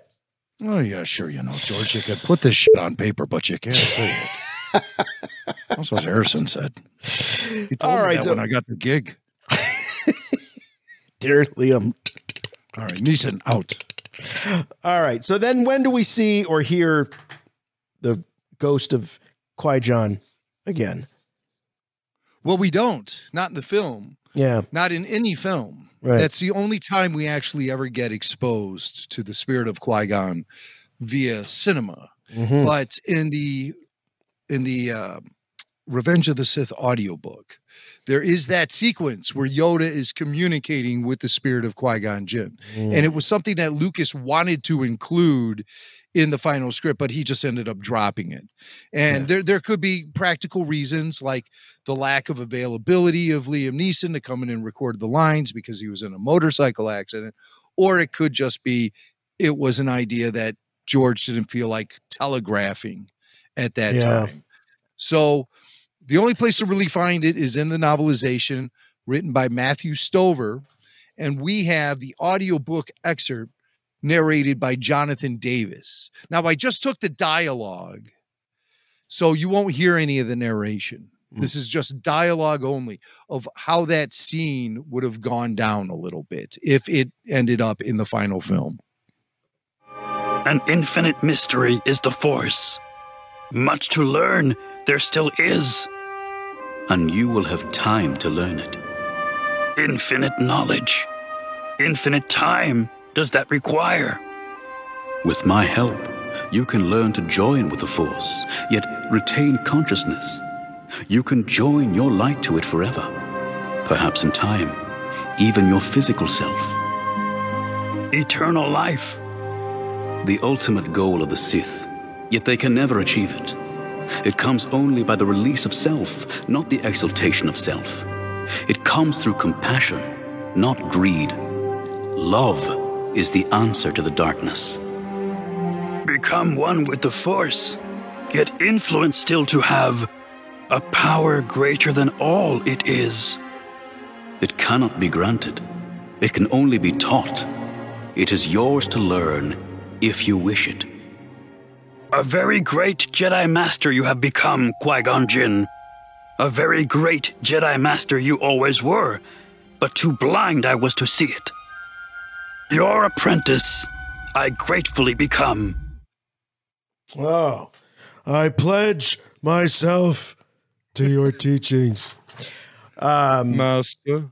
Yeah, so that's a long scene. I mean, there's a lot of there's a lot of talking in that. I mean, it's a it's it's also a kind of a I I don't- you know not to beat this drum, but I, I take a lot of ribbing from fans, even even from you, Jim, uh, about I just am not a big fan of Star Wars novels. I just and and that scene is a really good example. George could have written that scene, that same scene, in a third of the time, and it would have been just as impactful and just as powerful.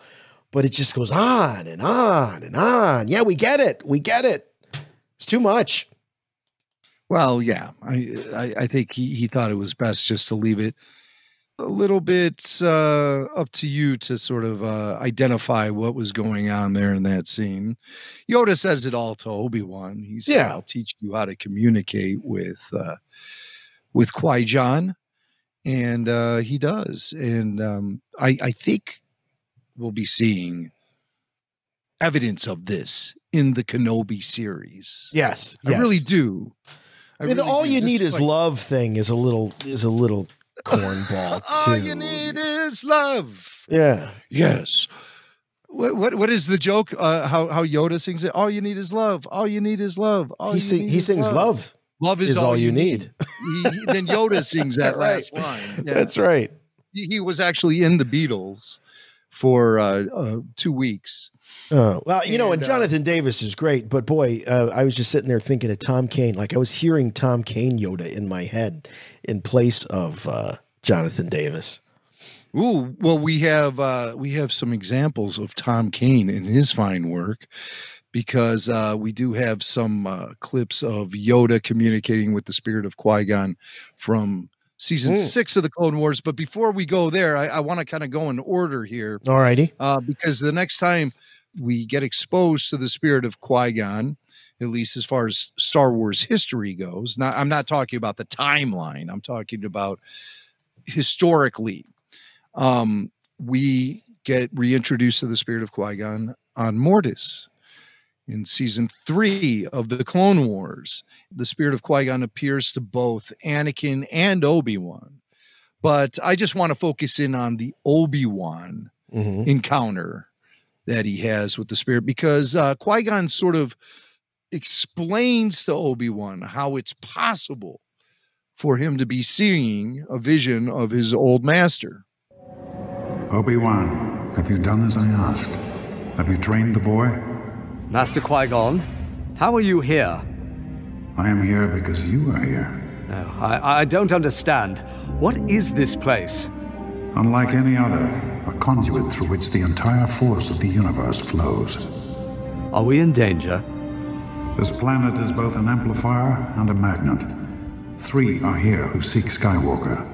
They, like me, believe him to be the chosen one. You were right.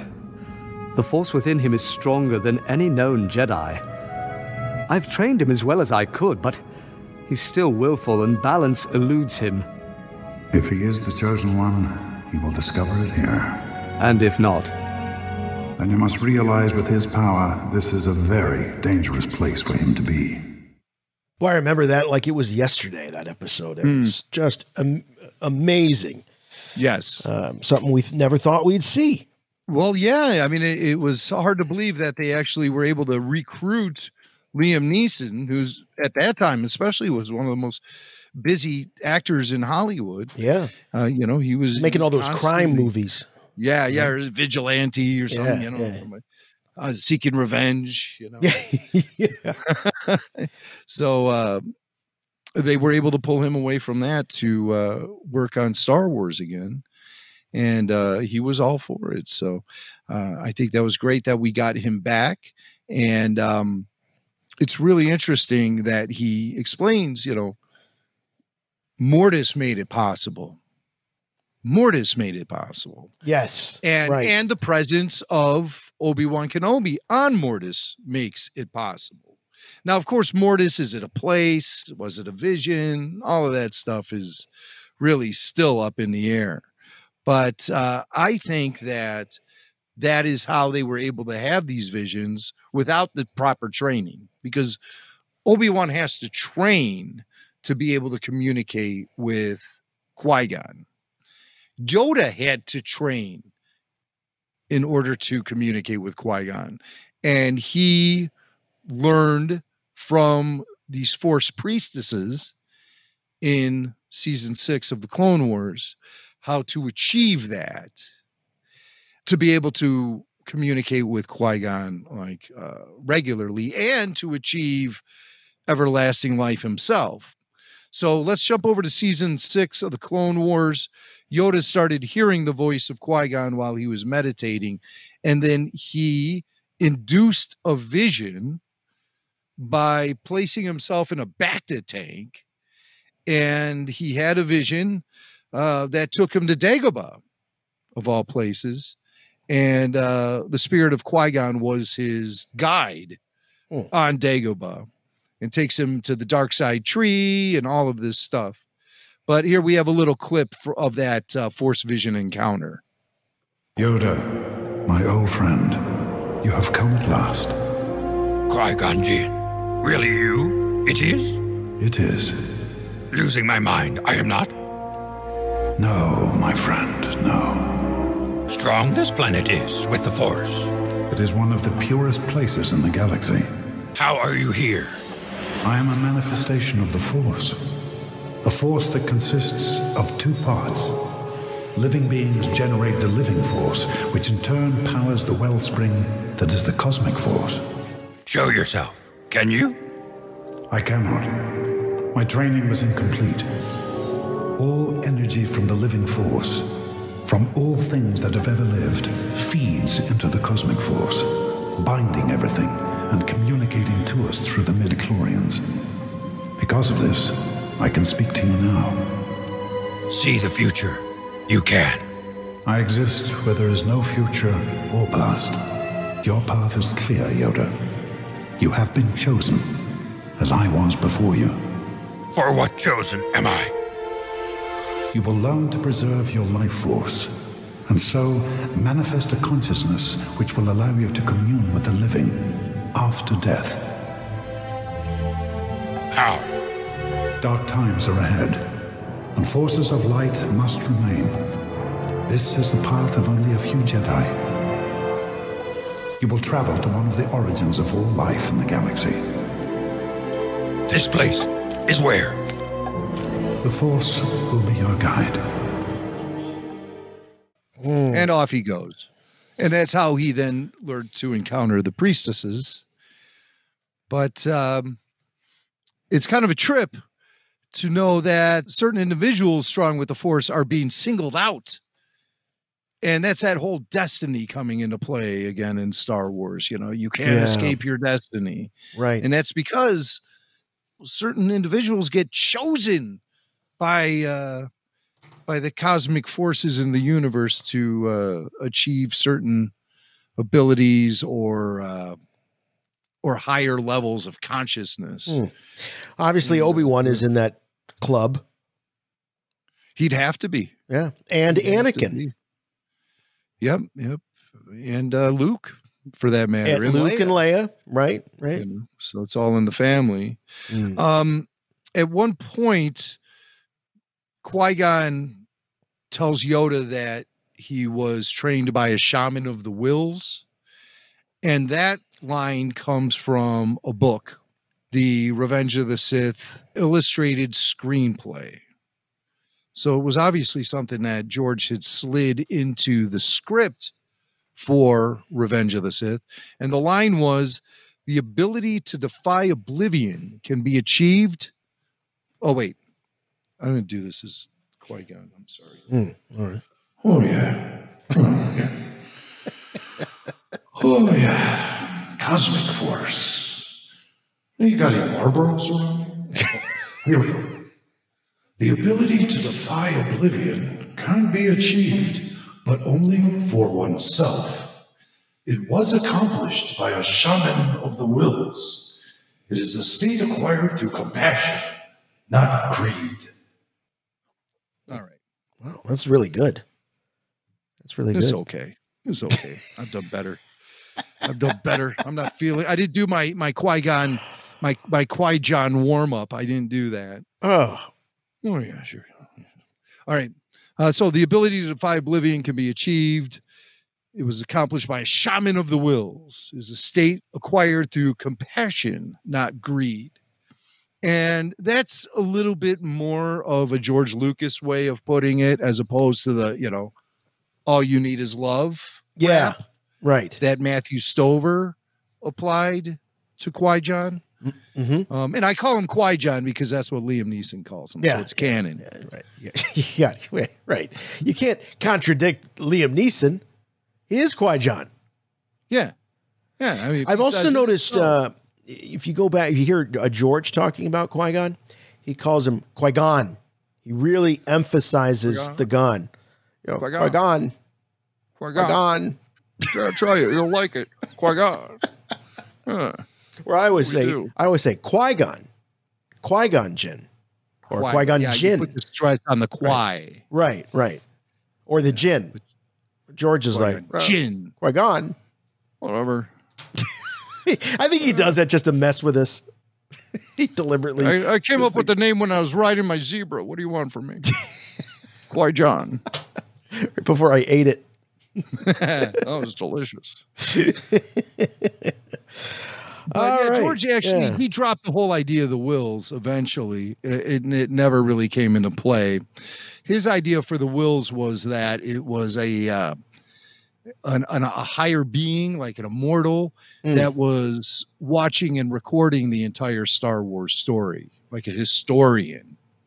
Um, Oh, wiser yeah, than right, yeah. wiser than the people that Are in the story. historian is observing. you know? Right, right, right, right. And then he just dropped the whole idea and, and just boiled it all down to the force itself. But he stuck with the Journal of the Whills as the name of his notebook.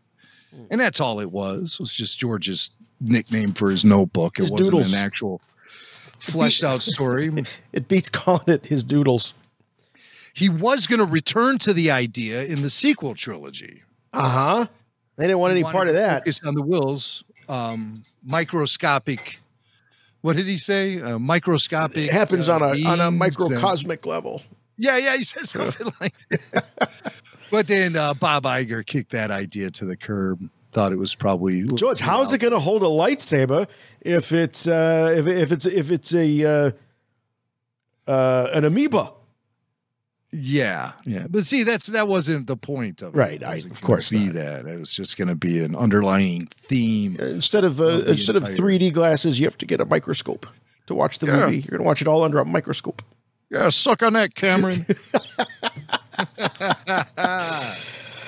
Uh, what do you say? Well, you want to do a little Star Wars and pop culture, or Yeah, some listener got- feedback? What do you want to do? Let's do the pop culture. Let's do the pop culture. All right, let's see what's going on. in- Rebel Force Radio. You've already made that Star Wars reference. Your source for the Force. Star Wars parody. All right, got an email from Bryce.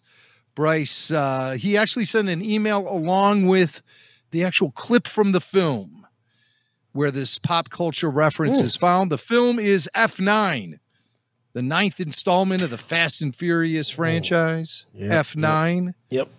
which was um, probably the biggest box office release worldwide since the pandemic. I uh, probably up until the Bond film. I believe the two of them are kind of uh, sharing those uh, the the King of the Hill status for yeah. best box. well, and then, then there's that Carnage movie, Venom. Venom. That's right. Yeah, Venom, not Yeah. Carnage. He's the other one. That, but I feel like that's b- bigger than Bond.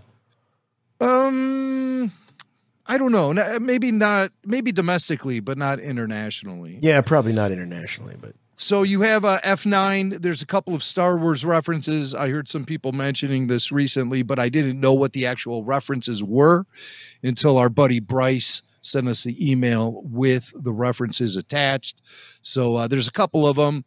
Here's one. It sounds like uh, the bad guy is giving a pep talk to his minions before they carry out some evil doings. Okay, listen up! I want 50 of the best men. I want guns. I want wheels. Freaking X-Wing fighters. I don't care. The Millennium Falcon Chewbacca if you can get a hold of him. One is no object. Go. Go! Chewbacca, if you can get a hold of him. If you can get a hold of him, we will hire Chewbacca. Money is not an issue. Somebody should have checked out me in my Chewie jacket. Oh, that'd have been Weekend, I great. That'd have been perfect. I could have. I could drive a car really fast and really furious. I mean, there are so many actors in those F, you know, Fast and Furious movies. I, not out of the realm of possibility. You get a little uh, Chewbacca showing up in one. Why not? Why not? We need more crossovers. Yes. Star Wars crossing over all into Fast and Furious. That's a piece of cake. I'd love to see it. the only time we ever saw Star Wars cross over in another film was with the uh, Night in the Museum 2, where Darth Vader appeared in the museum. Oh, Indian in the cupboard. Oh, the action figures. The action figure came to life, but it was, uh, you know, it it, Yeah. did, it looked like a movie version of Vader. But yeah, I forgot about that night at the museum. That's right. Yeah. Vintage Star Wars action figures were featured in the uh, Poltergeist. Yep. Uh, they they were new. They weren't vintage back then. Yeah. They were new. Um, but I, I'm talking about like actual characters crossing over. Sure. Yeah. Yeah. Yeah. Yeah. Yeah. I- And I Darth mean- Vader. Doesn't really happen much. Darth Vader was meant to be taken literally as the Darth Vader in A Night at the Museum too. Oh, really? So, oh yeah, it's canon. So uh there's more in uh, F9. Uh-huh. After that, after the bad guy gives his pep talk, then um his girl uh comes over and uh gives him uh, the opposite of a pep talk, it seems. Oh, pep, uh, uh, not so pep talk. If this talk. was a movie, this would be the moment where the villain has an unexpected setback, overcompensates without thinking it through, and gets crushed by the good guys. No offense, but you have no idea what we're about to do. And for the record, we're the good guys. Me, I'm Luke frickin' Skywalker. Are you sure about that? I mean, I get the daddy issues, but really, Luke? You're right. No, I'm more of a Han Solo. No. You're Yoda. Yoda. Mm-hmm. Nah, the little green guy. Nah. ah, shit, I'll take it. Because he's a powerful Jedi, right? No, Yoda's a puppet with someone's hand up his ass. Oh, there's the payoff. There's the payoff. I, I these movies are terrible, aren't they? I mean, they're really these movies are awful. Super popular. I, I can't. I know they're on them. I've never but, seen one. I've never seen one, so I can't comment on it. But uh, yeah, I mean, they, they've done nine of them. They Uh, still well, do great yeah. box office. They do great box So- office. Yeah. Well, So, there was a know. good payoff. It was it was wandering for me a little bit. He just kept going. It was like it was almost sounded like improv. You know, if you ever taken an improv class in theater or whatever, like it's like, hey, Hey, wait, is listen. going somewhere? She's calling him a puppet with a hand up the butt. Yes, it has a great payoff. Sick burn. Sick That is burn. that is. Oh, the little green guy, little green guy. All right, let's uh, wrap things up with just a little listener feedback. How's that sound? Perfect. Let's do it. You must contact me. Play back the entire message. What message? Message after the message. The Emperor commands you to make contact with him. It's a trick. Send no reply.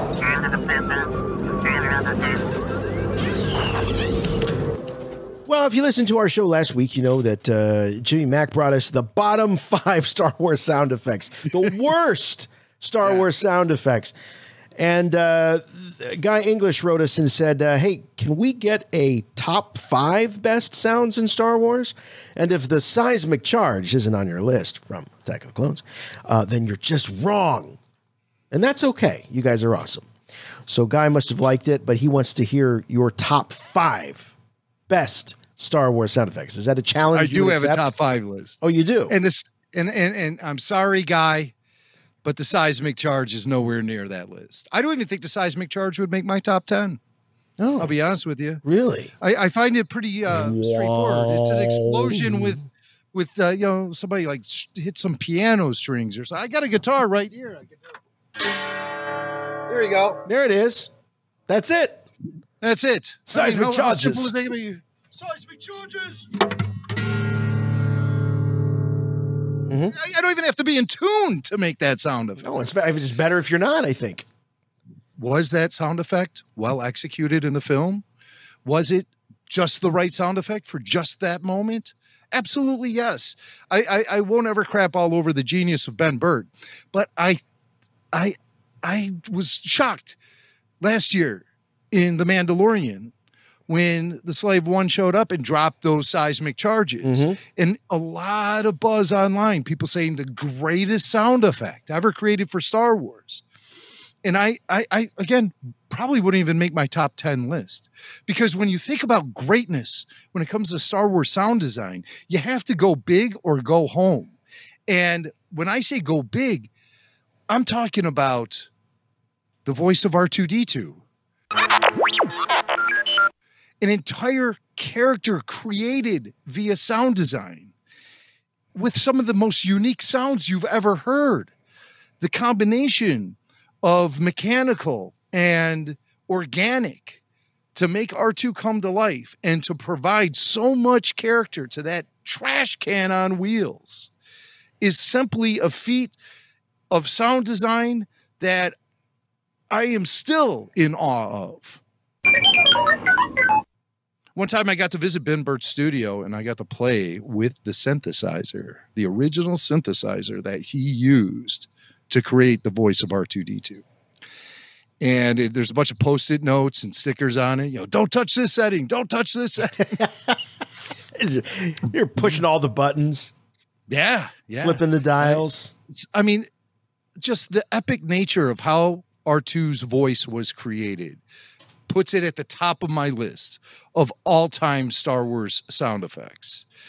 Number two, the lightsaber. The lightsaber. That entire, I mean, who doesn't hold the Christmas wrapping paper tube when it's empty and go? We even saw actors in the prequels and the sequels rehearsing with lightsabers, making that noise. Yep. What a great sound. And one of the most iconic sounds in the history of cinema sound. And it's definitely on my top five. The blaster sound. Or as, as you youngins like to call it, the pew pew. Which, by the way, that pew pew thing is like fingernails on the blackboard to me, uh, which is something I said several times last week when I was talking about my worst sounds in Star Wars. But the actual sound effect, Ben Burtt out at some control tower tapping on the support wires to get that sound. We've all seen that footage from the old making of Oh, yeah. specials. And it just is a great sound because he also incorporated actual gunfire sounds into it. So you have that zap sound, but you also have a, a bang with it. Yep. And I the always thought that was laser so and the explosion. Yeah, both. Yeah. Yep. Yep. and it just is the best sounding laser gun, ray gun in the history of movies. Yeah, I mean, compare Before it to that- Star Trek. Yeah, it's like that. Yeah. You'd have noises like it sounds like that. Yeah. It- that that Mhm. doesn't that doesn't get me pumped up like a you know the blaster bolts do. That's just one of the greatest sound effects ever ever created. Put in my top five Chewbacca's roar. Mm. Chewbacca's language, based on recordings made and edited together very carefully of bears and seals and uh, sea lions and put together in just such a fashion that really brings Chewbacca to life. I mean, my God, it's, what they did there. I mean, Ben Burtt, he'd been working on these sounds for years before they even stepped in front of camera. Well, at least a year. And the stuff he was coming up with was just mind blowing. And the characters he he brought life to was incredible. Chewbacca, iconic. Can't do better than that. Um, and then to round out my top five, my favorite vehicle sound in the history of Star Wars is the TIE Fighter.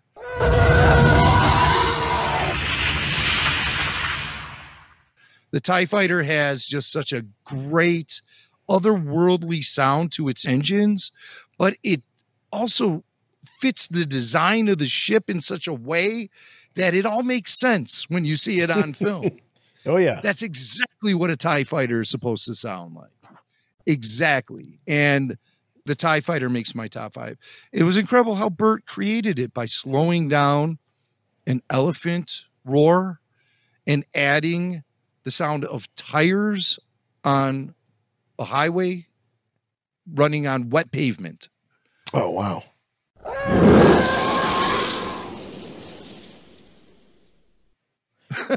Well, when you break it it's down, crazy. you can And- hear it, you know. and you hear that when it, the tires, you know, because the Tie Fighter makes that that you can sort of pick apart and go, oh yeah, that's it, that's an elephant roar, and then as it moves off into the distance, you hear this sound that accompanies it, and that's the tires on the wet pavement. And it's just brilliant. It's brilliant. And then I'll give you know um, notable mentions to the Jawa voice, the Tauntaun, um, the Tuskens. The Tuskens was uh, simply taken from donkeys braying when they were bringing gear down in the canyon where they shot Tatooine scenes in Tunisia. They were bringing along these donkeys, and George said, "Hey, somebody record that and send that to Burtt." and and Ben turned it into the classic Sand People Tusken Raider. Uh, one time I was visiting Matt Wood at Skywalker Sound. Me and Wendy were there, and he had found all of these reels in storage because they were putting together the Willow Blu-ray. Mm. And so he was looking for audio from Willow and he came across a ton of Star Wars stuff and he found the actual reel that had the audio recorded in Tunisia of the donkeys that got turned into the Sand People roar. And so he he digitized it and then played it back for me and Wendy. And it was so funny just to hear these donkeys just carrying on, like just like you'd hear donkeys. But then at one point, the donkeys get excited and you hear, "Holy crap! They're it's sand people! I don't believe it." And that was the. oh, And I've I've begged Matt many times. Can you just play that at a convention or something so people can hear that? Also on the reel was audio recorded at Alec Guinness's birthday, which they celebrated in on the set, right? Yeah, re- yeah. Well, On not the on the set. set, yeah, but on location. And so uh, Mark's there, and they're all drinking a champagne toast. And Mark goes, "I don't know if I should." I, you know." And and and Sir Alex is to Hamill. He goes, "Oh, son, it's perfectly fine in this occasion to imbibe a little bit." Mark's just like, "Okay." You know, well, if Sir, if Big Al is doing it, I'm going to be doing it. And then uh, they have a cake. They bring out a cake for Alec Guinness. And George Lucas goes, "Eh, it looks like a pizza. it's, it's the wildest audio I ever heard. I heard it just at one time when Matt found it while he was working on the Willow Blu-ray. And he played it for me and it blew my mind.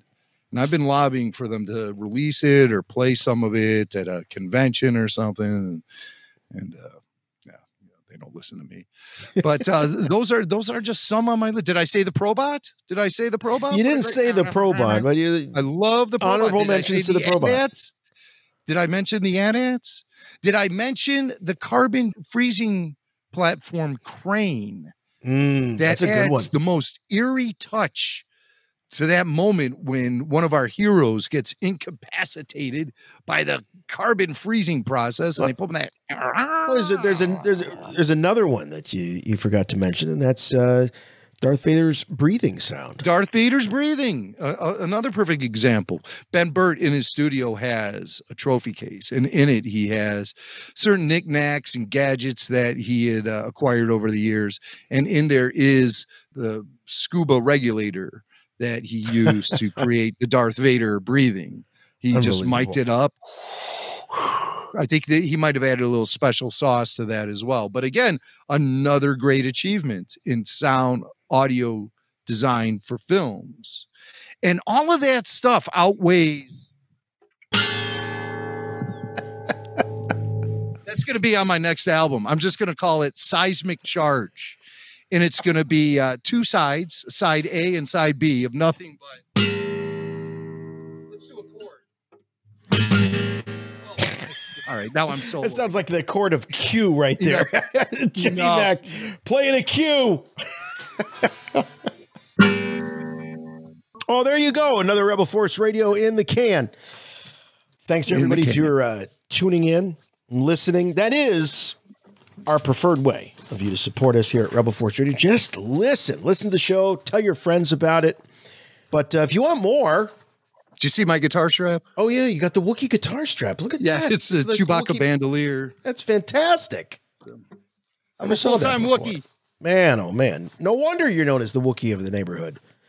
If you want more of that, you, the best way to get it is Rebel Force Radio on Patreon. That's right. The easy way to find it is just to go to rebelforceradio.com and click on the Patreon banner, and boom, you're transported over to our Patreon and you can sign up. Uh, there's various membership levels, and there's all kinds of perks that go with those levels. Everything from a dollar a month all the way up to you know some higher uh, prices. You know, RFR VIP. There's also an eleven dollar and thirty eight cent a month. We had to eleven dollars and thirty eight cents for Rebel Force Radio All Access, and you get lots of stuff, including the ability to watch this show as we record it. Not live, but you know, you can uh, watch the uh, antics of uh, Jimmy Mac and his uh, Wookiee guitar strap trying to make those seismic charge sounds. That's just one of the many, many perks. Uh, also, uh, there's a podcast that you can't subscribe to on Apple Podcasts or on Spotify. No, no, no. These are unique to Rebel Force Radio's Patreon, like RFR Comlink, the Q and A, the Babu Freaks, as we were talking about before. Uh, Clone Wars Declassified Remastered. So if you're binging for the first time or re-binging on uh, Clone Wars on uh, Disney Plus, you can have a listen of our reviews of uh, each and every episode there. Uh, also, it is the exclusive home to uh, really one of the one of the best, if not the certainly the best, uh, when it comes to uh, the music of Star Wars, Star Wars Oxygen. Those archives only available through uh, RFR on Patreon. And when we get around to doing those live after shows, which we will on or about December 29th with the premiere of the Book of Boba Fett, one way to get to the head of the queue of those live call-in shows is identify yourself as a Patreon member and uh, we'll make sure we get to your call. So please join a community of some of the greatest Star Wars fans in the galaxy. Go to details at uh, patreon.com slash Rebel Force Radio or the website rebelforceradio.com. Also, another way you can help us out, support our sponsors. They support us, so please support them. Uh, big thanks to Shopify and Indeed this week. Don't forget, if you'd like to see Rebel Force Radio live in person, we are going to be in Nashville at ICCCon. Uh, you can go to iccon.com and get tickets uh, for this uh, event in Nashville, and that's in March 2022. Use the code RebelForce10 at checkout and you save 10% off the gate price. Uh, RFR is available on YouTube and um, great stuff over there at YouTube. I'll see if I can get a little more of our uh, trick or treat stuff uh, up there as well. So if you want to see more of the little, I, we were calling him instead of the Mandalorian, the Boy DeLorean. Boy DeLorean. Boy DeLorean. I get Um, it, man, boy. Yeah, you got it right. Yeah, it's over at youtube.com slash Rebel Force Radio. Costs you nothing. Just hit the subscribe button and the notification bell. And that's the uh, also the way you'll be notified when we're going live and doing these live shows. But above all, we'd like to hear from you in between shows. An email address is show at rebelforceradio.com. Voicemail line 708-320-1RFR. You can follow us on Facebook, Twitter, Instagram, and the official website for all things and everything, Rebel Force Radio, rebelforceradio.com. And uh, as I say, you'll find us on just about anywhere you can find podcasts. So please subscribe. And if the podcatcher of your choosing allows you to do so, we'd love to have a review. Just one rule, please. Make them good. All right, that's it. We'll see you next time for Rebel Force Radio. I'm Jason. I'm Jimmy Mac. And remember, The Force will be with you, always.